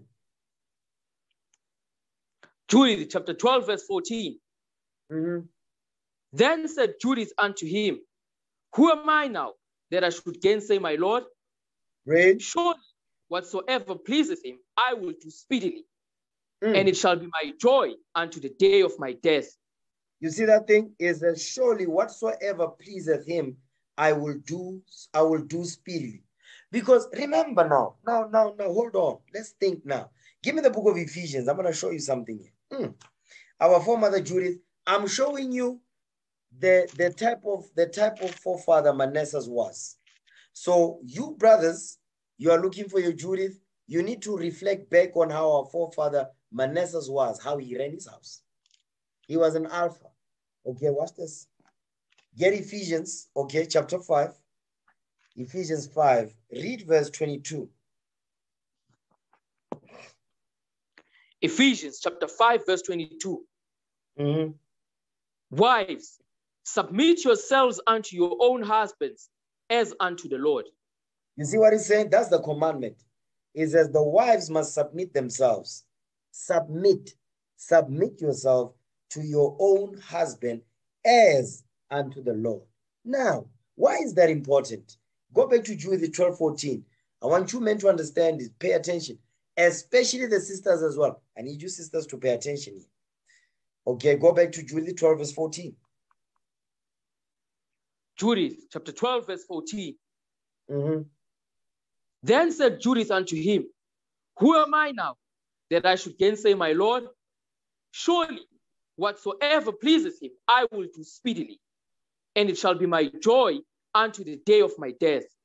Watch this. Give me the book of Ecclesiasticus. Let's go to Sirach real quick. Sirach 2. He says, Whatsoever pleaseth him, he says, What? It says, Whatsoever pleaseth him, I will do speedily. Hmm. Watch this. Don't forget what we read in, in Ephesians 5. Okay? Watch this. Um, give me Sirach 2, verse 16. Hmm. You know what? Let's start at verse 15. We're going to read 15 and 16 together. I'm going to show you something heavy with this thing right here. Watch this. Ecclesiasticus chapter 2, verse 15. Mhm. They that fear the Lord will not disobey his word, and they that love him will keep his ways. You see that? It says, They that fear the Lord will not disobey his word. And they that love him will what? Will keep his ways. Remember, it says, Wives, it says, submit yourselves unto your own husbands as unto the Lord. Because remember, she said, Who am I now that I should gainsay my Lord? Because Manasseh, our foremother Judith understood that Manasseh represented Christ in the house. I need you, sisters, to understand that thing. Manasseh, our forefather, he represents he, he represents Christ in the house because we represent Christ in the house. Our foremother Judith understood that. And because she understood that, she understood what we're reading here. Read that again, Sirach 2.15. Ecclesiasticus chapter 2, verse 15. Mhm. They that fear the Lord will not disobey his word, and they that love him will keep his ways. You see that? They will not disobey his word. Our foremother Judith did not gainsay her husband. She did not disobey her husband. She submitted herself to her husband. Next verse. Watch this. They that fear the Lord will seek that which is well pleasing unto him, You see that? It says, They that fear the Lord will what? Will seek that which is well pleasing unto him. Our foremother Judith, because she understood that the men represent Christ in the house, her husband, her Lord. Guess what? They that fear the Lord will seek that which is well pleasing unto him. How did she know what was well pleasing unto her husband, Manasseh? Because her mind was after his mind. That's why she knew what pleased him. So guess what she did? She did it speedily. She did not gainsay. She did not twitch like a robot. She, did- she was not backing up against instruction. She didn't hate instruction because that is that's why sisters they are afraid of the book of Judith. Why? Because Judith was on another level. She understood this stuff. Now we're making it plain. There's no more confusion with this now going forward. Okay, read that again, verse 16. Come on. Ecclesiasticus chapter 2, verse 16. Mhm. They that fear the Lord will seek that which is well pleasing unto him, Go ahead. and they that love him shall be filled with the law. shall be filled with instruction. Shall be filled with instruction because Manasseh, he instructed his wife out of God's laws. So she was able, she submitted 100% to him. Why? Because she said it out of her own mouth. So now, watch this.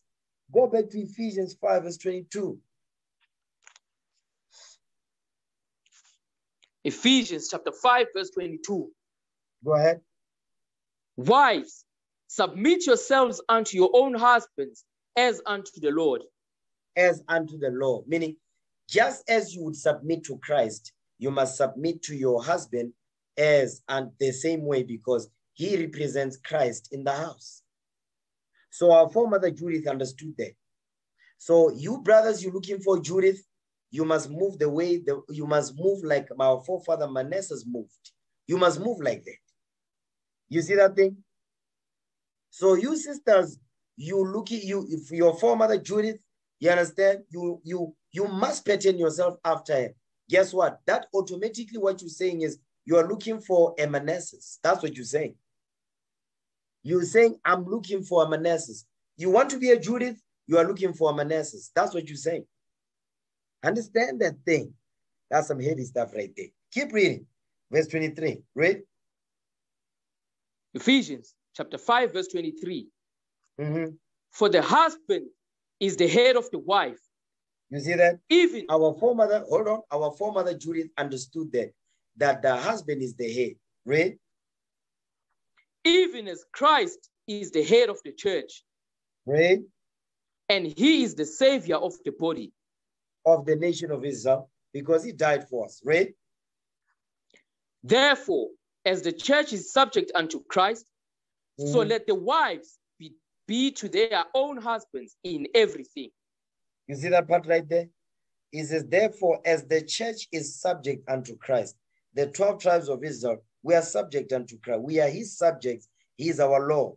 It says, so let the wives be to their own husbands in everything. What's the example? Go back to Judith 12, verse 14. I want this verse to marinate in the mind of the sisters. I want this verse to marinate in the mind of the brothers because now you need to what? Now you, you start to see the type of man our forefather Manasseh was. Read that. Judith 12, verse 14. Read. Judith chapter 12, verse 14. Come on. Then said Judith unto him, Who am Mhm. I now that I should gainsay my Lord? Surely whatsoever pleases him, I will do speedily, Mm. and it shall be my joy unto the day of my death. It shall be my joy. It shall be my joy unto the day of my death. Remember what she understood. Give me the book of Tobit real quick. It says, It shall be her joy unto the day of her death. Why? Because here's what she understood. Give me Tobit 8, verse 7. Hmm. Heavy stuff. Tobit chapter 8, verse 7. Come on. And now, O Lord, I take not this my sister for lust, but uprightly. Mhm. Therefore, mercifully ordain that we may become aged together, That's what she understood. Mercifully ordained that we may become aged together. Read the next verse, verse 8. And she said with him, Amen. meaning I'm in agreement, my Lord. And that's our foremother Judith. She was in complete agreement with her husband because it says, He said, mercifully ordained that we may become aged together. Go back to Judith 12, verse 14. Judith chapter 12, verse 14. Mhm. Then said Judith unto him, Who am I now that I should gainsay my Lord? Mhm. Surely whatsoever pleases him, I will do speedily. And it shall be my joy unto the day of my death. So now you see what that part right there when it says, Whatsoever pleaseth my Lord, that's what we read in Sirach 2, verse 16. It says, They that love, they that fear the Lord will seek that which is well pleasing unto him. Because our foremother Judith, you know what she did? She was she she was seeking that which was well pleasing unto her Lord, which is who? Her husband Manasseh. You see that thing? So that's why he says, Whatever pleaseth my Lord, I'm going to do it speedily. Why? Because she understood he represented Christ in the house. Guess what? It says, and it shall be my joy. So the sister, she didn't look at marriage as a slave contract like the black woman does this day. You see how, how, how low we have fallen as a people. Today, the black woman look, looks at marriage as a slave contract. That's simple as hell. That's dumb as hell. Because look at the honor that comes with you being submissive to your husband. And it also tells you what the type of husband you've got. He's a man of honor. Because there says, It shall be my joy unto the day of my death. Now, I want to deal with that speedily part. You see that part right there when it says speedily? Watch this. Give me Sirach 5 verse 7. Now, this is this goes into the Most High, Christ and the Most High. Watch this. Ecclesiasticus chapter 5, verse 7. Mhm. Make no tarrying to tend to the Lord, Read. and put not off from day to day, Do, do, it says do what? and put not off from day to day. and put not off from day to day, meaning what? You don't be postponing it, no, no, tomorrow, tomorrow. Mm-mm. It says, put not off from day to day, make no tarrying to tend to the Lord, meaning don't waste time. Move with the spirit of haste, speedily, like we read in the book of Judith 12. When we when we deal with the Most High, we have to have that level of agency because our foremother Judith, when she dealt with her husband also, guess what she did? She, she what? She was, she moved with the spirit of haste to please him speedily. I'm showing you the parallels here. Okay. Read that thing again, verse 7. Hmm. Heavy stuff. Ecclesiasticus chapter 5, verse 7. Come on. Make no tarrying to turn to the Lord, Hmm. and put not off from day to day. Read. For suddenly shall the wrath of the Lord come forth, and in thy security thou shalt be destroyed and perish in the day of vengeance. You see that? Because guess what? Imagine her, her husband dies. He's got all these wealth, this wealth and so forth. And she was a black ashy demon. You think she was going to get all this wealth? No, she wasn't. Likewise, if we don't keep God's commandment as men, we don't move with the spirit of haste, you think we're going to get the kingdom? No, we are not going to get it. I'm trying to show you how serious this is. This is heavy stuff. This is serious business going on. Understand that thing. Okay. Now, watch this. Now give me Sirach 26, verse 13. We're still dealing with our foremother Judith because you brothers, you're looking for Judith. You sisters want to be a Judith. Guess what? This is twofold. I'm hitting two birds with one stone. You want to be a Judith? Guess what? You are automatically saying, that's the type of, of, of a Lord I'm looking for. You understand? If you want to be a Judith, you are looking for a Judith, you are automatically saying, This is the type of man I want to be like our forefather Manasseh. That's what you're saying. By default, that's what you're saying. Get Sirach 26, verse 13. Watch this. Ecclesiasticus chapter 26, verse 13. Mhm, The grace of a wife delighteth her husband, mhm. and her discretion will fatten his bones. You see that thing? So her discretion fattened his bone because she was she was she had high moral standards. She was a virtuous woman. Our foremother Judith was a virtuous woman. Understand that? Go ahead. A silent and loving woman is the gift of the Lord. You see that that's the, that was Manasseh's portion. Judith, our foremother, she was that silent and loving woman. She was the gift. She was that she became the reason why it says is a gift of the Lord is because our foremother Judith was a virtuous woman. Because her mind was well instructed. Her mind was well instructed. She was she had wisdom. She applied herself. That means she came from a good family. Her father and mother taught her God's laws. You need to understand that because she came from a good family. From a young age, she came from a good family. So that's letting you know that her parents was righteous. They taught her the law of Moses, just like they taught Susanna the law of Moses. And that's why she was married to Joachim. Hmm. Read that thing again, verse 14. Ecclesiasticus chapter 26, verse 14. Go ahead. A silent and loving woman is a gift of the Lord, Mhm. and there is nothing so much worth as a mind well instructed. You see that? Judith's mind was well instructed by her husband, Manasseh. Okay, come on. A shamefaced and faithful woman is a double grace, Hmm. and her continent mind cannot be valued. Meaning what? Her price is far above rubies, like we read in Proverbs 31, verse 11, verse 10. Read. As the sun, when it arises in the high heaven, so is the beauty of a good wife in the ordering of a house. So Judith had all these proper properties, or had all these qualities right here. She pleased her husband Manasseh all the days of her life, while Manasseh was still alive.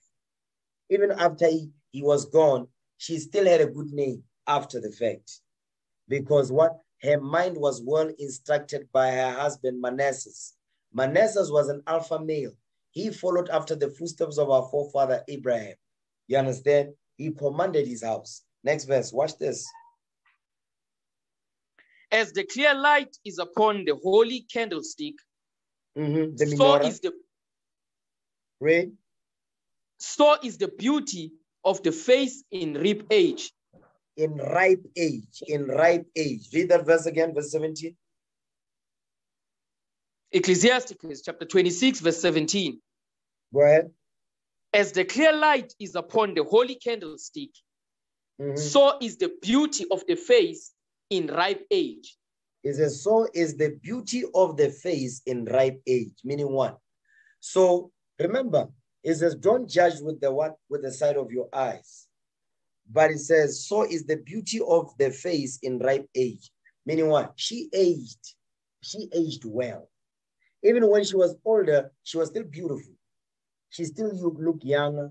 Her skin was still smooth, and so on and so forth. Why? Because she was a virtuous woman. She understood where to find the best food and so forth, what type of food to eat in order to have good, and beautiful skin, hygiene. She understood all of that. Don't get it twisted. That's why he says, so is the beauty of the face in ripe age, meaning old age. She was still she was still bare to the bone. Okay, now watch this. Give me. Hmm. Let me see something. Watch this.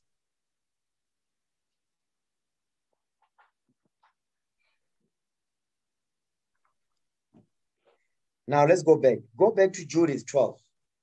Okay, go back to Judith 12. So what I'm what I'm gonna show you here is our foremother Judith, she was what? Remember, you know what? Give me, give me, give me Genesis. Let me show you something.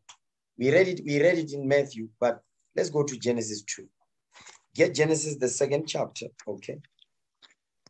Genesis chapter 2 and verse Genesis 2:24. Read that. Genesis chapter 2, verse 24. Go ahead. Therefore shall a man leave his father and his mother, and shall cleave unto his wife, and they shall be one flesh. and they shall be one flesh. So Judith, our foremother, Manasseh, our forefather, they were one flesh. The reason why they were one flesh was because our foremother Judith, Sirach 726, read that again. Ecclesiasticus chapter 7, verse 26. Go ahead. Hast thou a wife after thy mind? Forsake her not, Read. but give not thyself over to a light woman. You see that? Our foremother Judith, her mind was after our forefather Manasseh's mind. That's why it says, Forsaken not. It says, But give not thyself over to a light woman. Because a light woman, her mind, she's not going to pattern her mind after your mind. She's and as a dumb woman is not going to do that. A dumb woman is a weak woman. She's not going to follow you. She's going to try to do her own thing. That's a, she's a liability. That type of sister, she's weak mind. That's a weak woman right there. So our foremother Judith wasn't like that. She understood that there's power in submission. She understood that thing. That's why even her name this day, we still talk about our foremother Judith. You understand? And she was a complete reflection of him, how he was, our forefather Manasseh. So when you read the book of Judith, you really have to see that type of husband Manasseh, her husband was. It tells you a complete picture of how he was. He was an alpha. You understand? He was. Now watch this. Now, let me switch gears now. Let me deal with the sisters. Sisters saying, I'm looking for Abraham. So you must you must think now. I dealt with I, I dealt with two birds with one stone, but I just want to touch on this. Give me the book of Genesis 18, verse 18. Sisters say, I'm looking for Abraham. Okay. Because you will have sisters that say they claim they are looking for Abraham, but they are in fact, in reality, they are looking for Ahab. Oh, yes. Yes. There's some sisters that say, I'm looking for an Abraham, but she's actually looking for an Ahab. So what is she? She's a Jezebel. You understand? Who like to rule over men?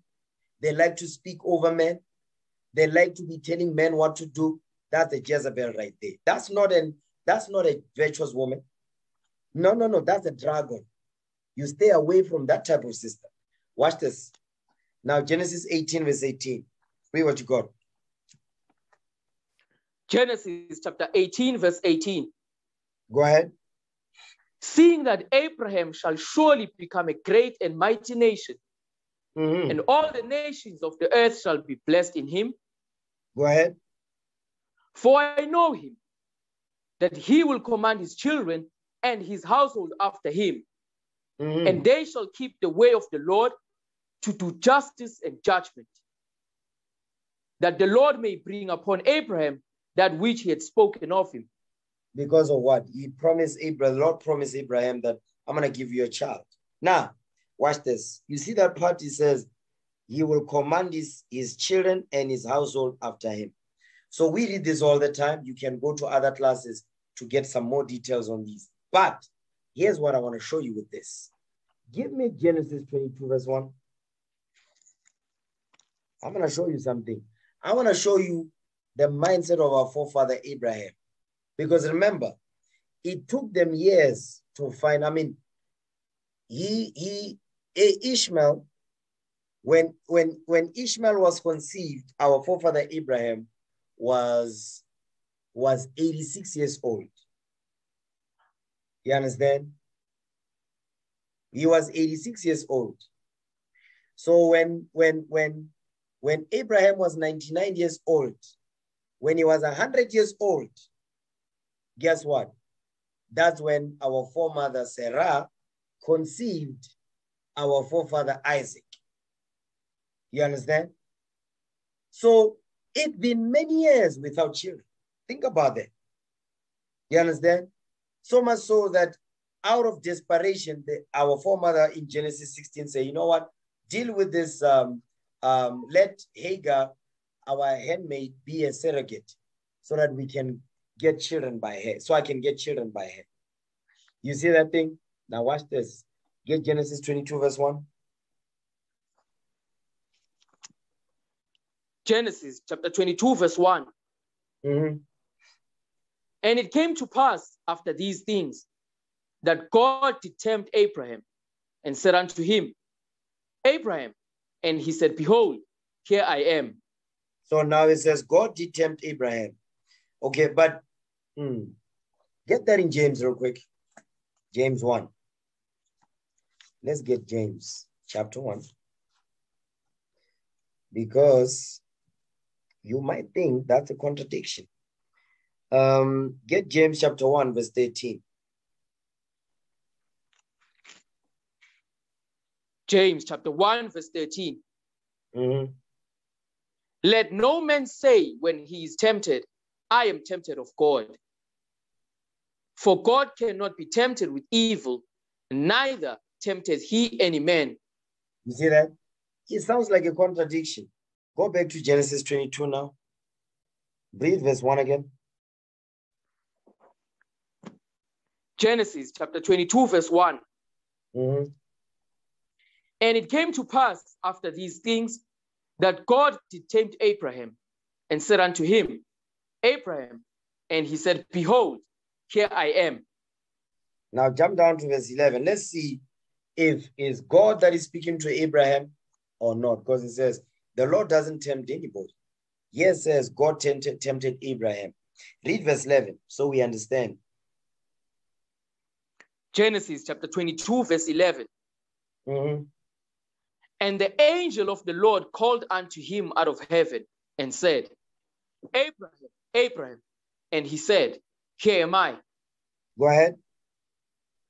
And he said, Lay not thine hand upon the lad, neither do thou anything unto him. For now I know that thou fearest God, seeing thou hast not withheld thy son, thine only son from me. So now you see now verse 1 says um, that God did tempt Abraham. Verse 11 says, And the angel of the Lord called unto him out of heaven and said, Abraham, Abraham, and he said, Here I am. So verse 1 is not the most high God. He's letting you know what verse 1 is making reference to is explained in verse 11 is what the angel of the Lord. It wasn't the most high God. Get that in 2nd Ezra 7, verse 1. Second Ezra 7, verse 1. Read that.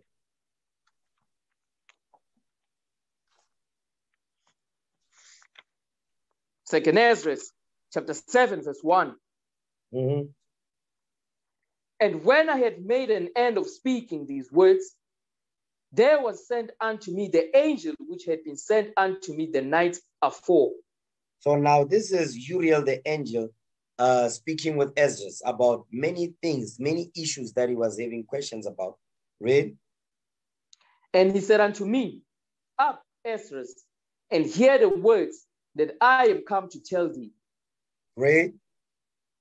And I said, Speak on, my God, What did he say? speak on, my God. He says, and I said, Speak on, my God.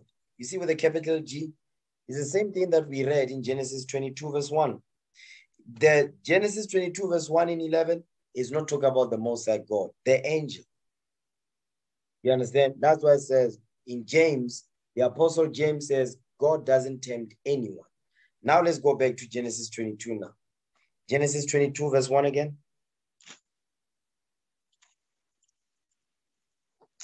Genesis chapter 22, verse 1. Mhm. And it came to pass after these things that God tempt Abraham and said unto him, Abraham, and he said, Behold, here I am. Now, at this point, the Lord, uh, the Lord, meaning the angel, is instructing Abraham on what needs to happen. Meaning what? You are going to sacrifice your only son, Isaac. Go ahead. Jump down to verse 11. Let's just get to the point. Verse 11 again. Genesis chapter 22, verse 11. Go ahead. And the angel of the Lord called unto him out of heaven and said, Abraham, Abraham. And he said, Here am I. Mhm. And he said, Lay not thine hand upon the lad, neither do thou anything unto him. For now I know thou fearest. For now I know that thou fearest God, seeing thou hast not withheld thy son, thine only son from me. Jump down to verse 15. Genesis chapter 22, verse 15. Go ahead. And the angel of the Lord called unto Abraham out of heaven the second time Mhm. and said, By myself have I sworn, saith the Lord, for because thou hast done this thing and hast not withheld thy son, thine only son. So now what I want to show you here is that it took years for our forefather, our forefather Abraham and our foremother um, Sarah to get a child that was promised by the Most So now, after many years, you understand? Now they are a hundred years old. When they when they got it, the Isaac was born when Abraham, our forefather, was a hundred years old. So now, watch this. You can imagine, I mean, it's a hundred years without a child that was promised by the Lord.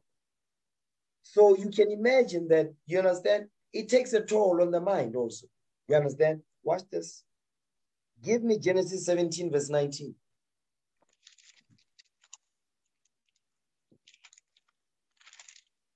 Genesis chapter 17, verse 19. Come on. And God said, Sarah thy wife shall bear thee a son indeed, Mhm. and thou shalt call his name Isaac. And I will establish my covenant with him for an everlasting covenant, and with his seed after him. Now, with his seed after him. Now, jump up, read verse 17. Watch this. Genesis chapter 17, verse 17. Mhm. Then Abraham fell upon his face and laughed, and said in his heart, Shall a child be born unto him that is an hundred years old, That is a what? and shall that is an hundred years old? You see what he's asking the Lord? is, Shall a child be born unto me? The me that is a hundred years old. I'm hundred years old. Go ahead. And shall Sarah, that is 90, 90 years old, bear? You see that?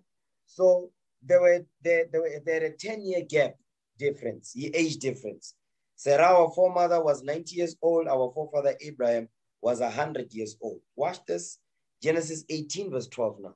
Watch this. Genesis chapter 18, verse 12. Mhm. Therefore, Sarah laughed within herself, saying, After I am waxed old, shall I have pleasure, my Lord being old also? You see that? My Lord being old also. So guess what? They understood. Listen, we old. We're not going to get children at this age. Watch this. Give me Romans, give me Hebrews 11. Hebrews 11, verse 11. Hebrews 11 and verse 11. Hebrews chapter 11, verse 11. Come on. Through faith, also Sarah herself received strength to conceive seed. You see that? It says through faith. It's just because through faith, it says also Sarah herself received strength to conceive seed. Remember, I mean, they struggled many, many years for a child. Okay.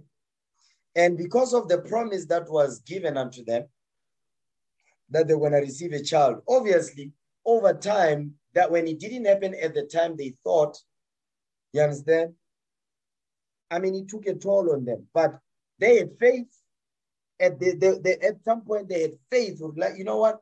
It's going to happen that we will conceive because the angels came when they visited our forefather Abraham. He made them food and so forth. That listen, next year on uh, around this time, you're gonna have you're gonna have a child. Sarah is going to conceive. You see that? Go ahead. And was delivered of a child when she was past age, because You she see that? judged him faithful. It says, she says what? And was delivered of a child when she was past age. Meaning what? The biological clock has run out, so to speak. You see that? But it a through faith, guess what? She was able to conceive. Go ahead. because she judged him faithful who had promised. Because we read it in Genesis 18. Go ahead. Therefore, sprang there even of one, and him as good as dead, And him as what? and him as good as dead, He says, therefore sprang there even of one, and him as good as dead. Meaning, our it says our forefather Abraham was like as good as dead. It's like, you see how old I am? The hell is this? I'm gonna get a child at this age. Go ahead. so many as the stars of the sky in multitude, and as the sand which is by the seashore innumerable. Okay, jump down to verse 17. Watch this. Hebrews chapter 11, verse 17. Mhm. By faith, Abraham, when he was tried, offered up Isaac.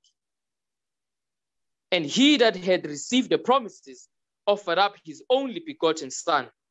So now I want you to think right here, right? It says, read that part again. Hmm. Hebrews chapter 11, verse 17.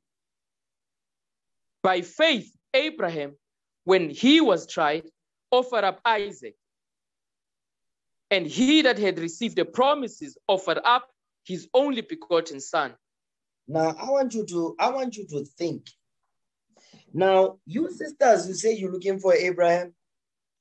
Can you imagine? I mean, it took a toll on them. Yes, they had faith because the Lord, you know, also gave them a sign towards the end. But what I want to show you is that imagine you're looking for you you desperate for a child, and then the Lord finally blesses you with a child. Soon after that, the Lord says, okay, go up there and sacrifice your only son. So, what do you think is going on in the house with us between the husband and wife at this point? What do you think is going on? You think there's no fight? You think there's no disagreement? You think there's no what the hell? I mean, you you know how long it took for us to get, actually get this child? Look how old we are. You're gonna take the, the only child you're gonna sacrifice that child. Our forefather Abraham did that thing. He was willing to sacrifice his only son that it took so many years for him to even get to have a child like that, the one that was promised by the Lord. Abraham, when, when he was told, go and sacrifice your only son, he didn't twitch.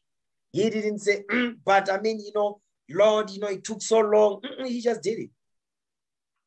He didn't make excuses. He just got it done. When he was about to do it, the Lord said, okay, stop. Now I can see or you believe me, you are faithful to. So you sisters, you say you're looking for Abraham. Abraham say he was he was um, commanded to sacrifice his only son, and he went out there and do it to do it. Although the Lord stopped him, but he went out there with the intentions to do it because that's what the Lord told him to do. So if you say you're looking for Abraham, understand that's the type of man, that's the type of Lord you say you want. By default, that's what you say. By default, you say you're looking for Abraham, and Abraham is willing to do that type of a thing for the Lord because he believed that much in the Most High. Your mind has to be after his mind. And I'm going to show you the mind of our forefather Abraham right here. Jump down to verse 19. Watch this. Hebrews chapter 11, verse 19. Go ahead. Accounting that God was able to raise him up even from the dead. Yeah, you see that? The reason why he went out there to do it is as he accounted that the Messiah was going to raise this child up from the dead. So, but sisters won't believe that stuff. Imagine that's what's going on. Now you tell me your wife, you say, listen, we have to go and sacrifice these kids that we've got.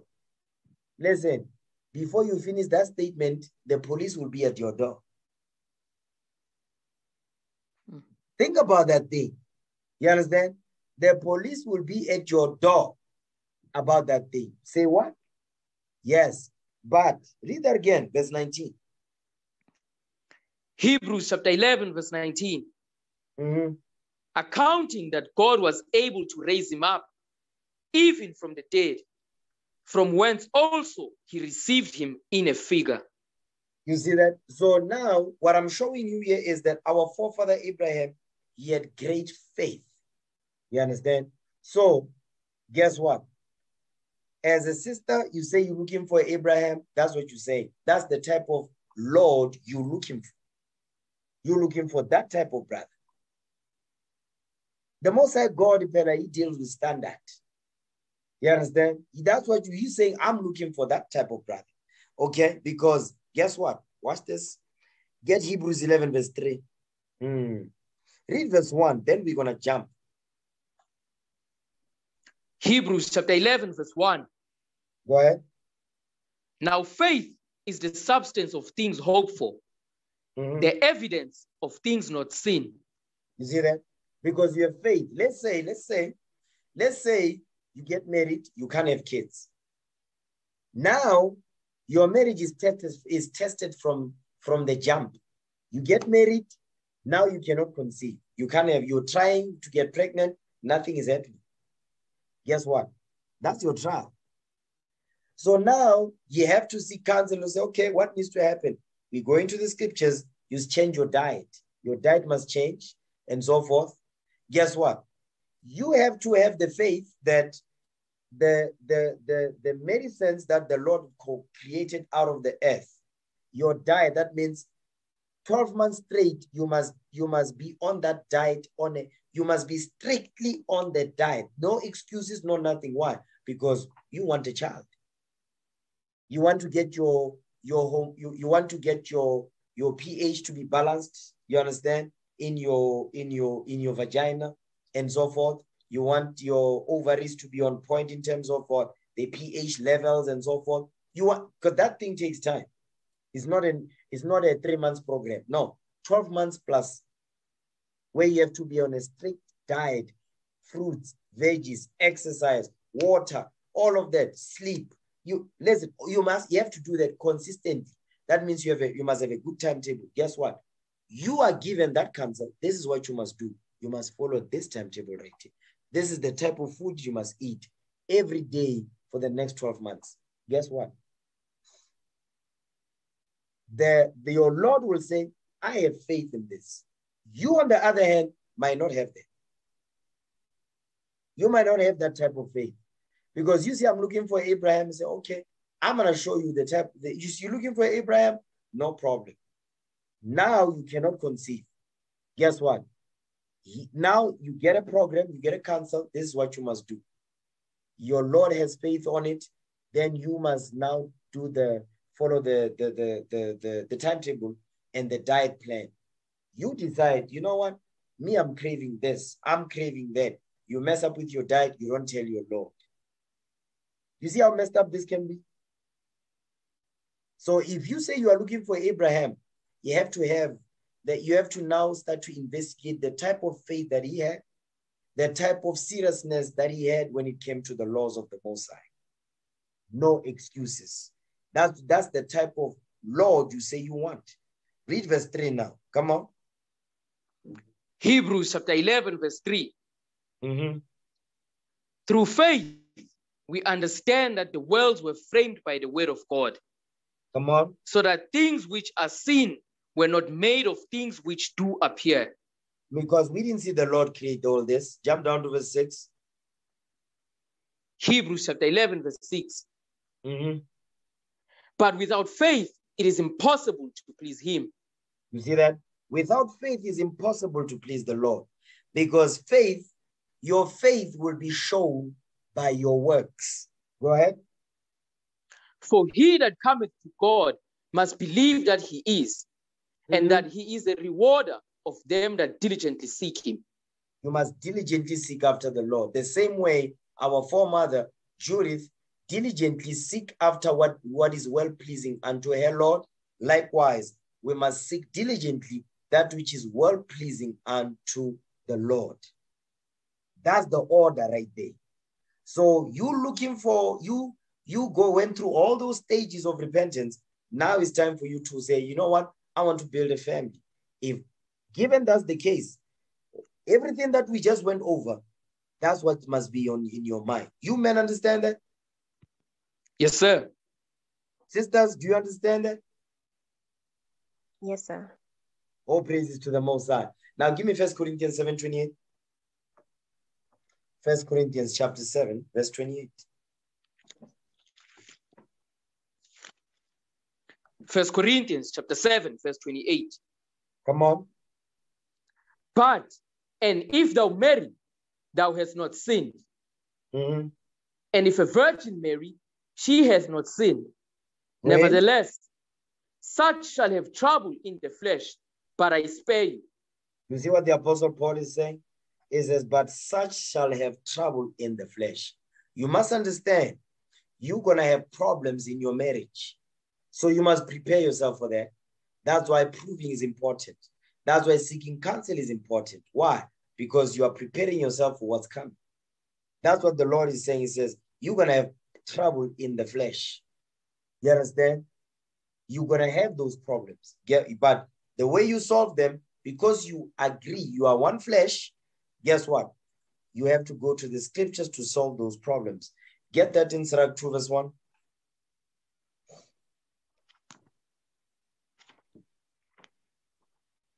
Ecclesiasticus chapter 2, verse 1. Mhm. My son, if thou come to serve the Lord, prepare thy soul for temptation. You see that? You come to serve the Lord. Meaning what? You come to serve the Lord, you say, okay, I want to get my mind right. Eventually, I want to get married. Guess what? The Lord is saying, whether you come in as an individual, you are going to, you must prepare for temptation. Whether you say, now I want to get married, you must prepare for temptation. Now you're going to be among the congregation, you must prepare for temptation because you are going to be tempted on all those levels. Next verse. Go ahead. Set thy heart aright Mhm. and constantly endure You see that? and make He says const- constantly endure because this type of race requires endurance. You cannot endure if you're not in the fight. Endurance requires you to be actively involved in the fight to test and see your endurance level. Go ahead. and make not haste in time of trouble. Don't run in time of trouble. You understand? He's going to tell you what you must do. Next verse, read. Cleave unto him and depart not away, that thou Mhm. mayest be increased at thy last end. You see that thing? So when he says, make not haste in time of trouble, he's giving you the solution in verse 3. He says, cleave unto him and depart not away. Meaning, hold on to the Lord. Hang on to the Most High God. It says that so that you may be increased in the last end when we receive the kingdom. Next verse. Go ahead. Whatsoever is brought upon thee, take cheerfully Mhm. and be patient when thou art changed to a low estate. You see that thing? Don't make no haste. Don't make don't make haste in time of trouble. That's why it says, and be patient when thou art changed to a low estate. When the trouble comes, when the trial comes, when the trouble in the flesh is gonna hit you, the Lord says you must be patient. Because what is He teaching us? He's teaching us patience.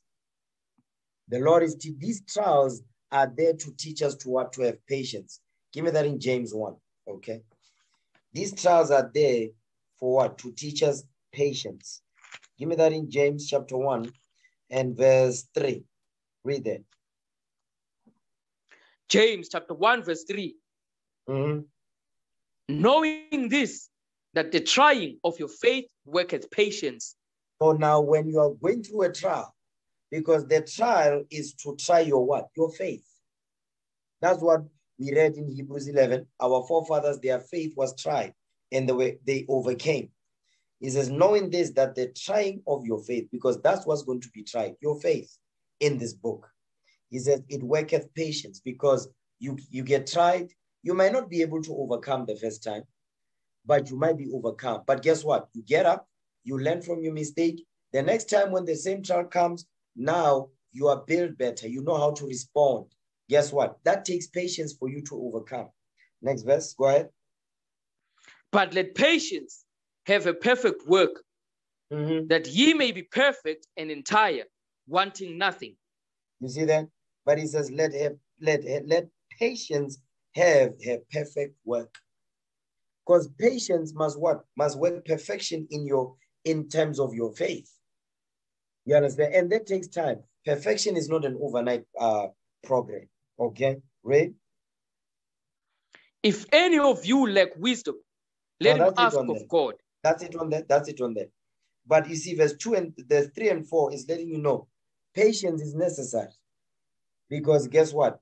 It's gonna what? It's gonna bring you to perfection because you you you every day you fight, you fight, you fight. And the the, the best way to be able to what to reach the level of perfection, to increase your faith, to what to strengthen your spirit, that when we fast, you fast often. Okay, that's why weekly we are fasting every Wednesday as a congregation. Why? Because we want to feed our spirits so that the flesh can be weak, so that the flesh is not over, is not powerful, um, is not powerful over what? Over our spirits. Get that in John 4. John chapter 4 and verse 24. Read that.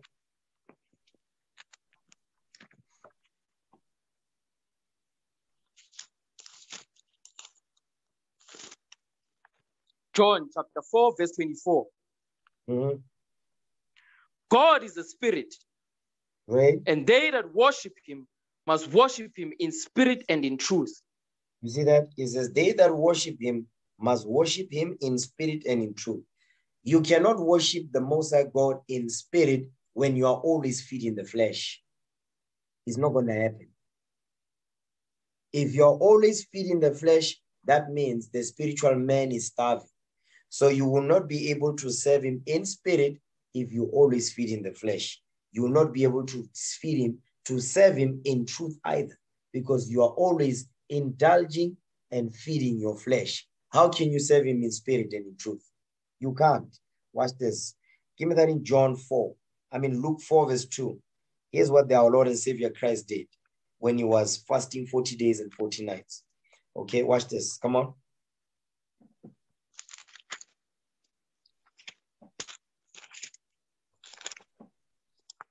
Luke chapter 4, verse 2.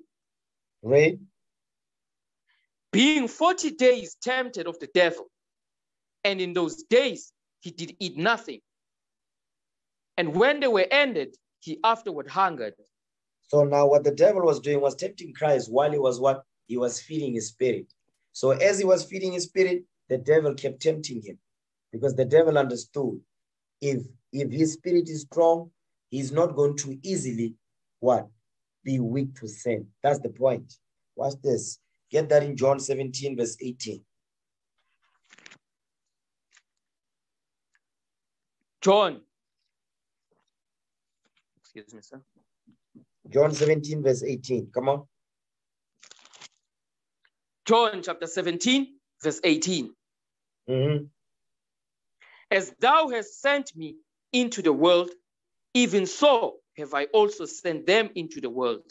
You see that the Christ says, As thou hast sent me into the world, because the Most High did, it says, Even so have I also sent them into the world. He sent us into the world. Okay, go ahead. And for their sakes I sanctify myself, Mhm. that they also might be sanctified through the truth. You see that thing? It says, For their sakes. He's talking about us. He says, I sanctify myself. How did he do that? When he was fasting 40 days and 40 nights. He says, I sanctify for their sake. I sanctified myself, meaning I prepared myself for the trial for the sake of the 12 tribes of Israel. Then it says that they also might be sanctified through the truth.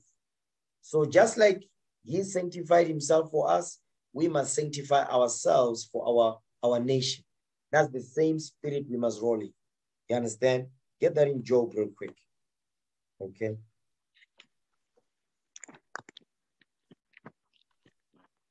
Job 23, verse 12.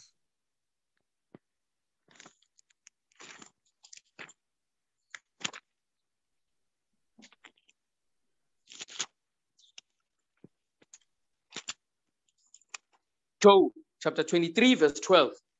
Mhm. Neither have I gone back from the commandment of his lips. I have esteemed the words of his mouth more than my necessary food. You see that? He says, I have esteemed the words of his mouth more than my necessary food. So if you are always feeding the flesh, guess what? You are not going to be able to what? To sanctify yourself for your for the sake of your nation. You're not going to be able to serve the Lord in, in spirit and in truth. Because we must what? We have, in order for us to do that, we must what? He says, I have esteemed the words of his mouth more than my necessary food. Meaning the what? The food that you eat to feed your flesh. It says what? We must what? We must focus more on feeding our spirits rather than feeding the flesh. That's what the Lord is saying. You understand? So I'm gonna end the class right there. All praises to the Most High God. Let's break bread in the name of Lord and Savior Jesus Christ. For I have received of the Lord that which also I delivered unto you, that the Lord Jesus, the same night in which he was betrayed, took bread. And when he had given thanks, he brake it and said, Take, it. This is my body, which is broken for you. This do in remembrance of me. After the same manner also he took the cup when he had supped, saying, This cup is the New Testament in my blood. This do ye, as oft as ye drink it, in remembrance of me. For as often as ye eat this bread and drink this cup, ye do show the Lord's death till he come. Wherefore, whosoever shall eat this bread and drink this cup of the Lord unworthily shall be guilty of the body and blood of the Lord. But let a man examine himself, and so let him eat of that bread and drink of that cup. For he that eateth and drinketh unworthily eateth and drinketh damnation to himself, not discerning the Lord's body. For this cause, many are weak and sickly among you, and many sleep. In the name of our Lord and Savior Jesus Christ, we pray. Amen.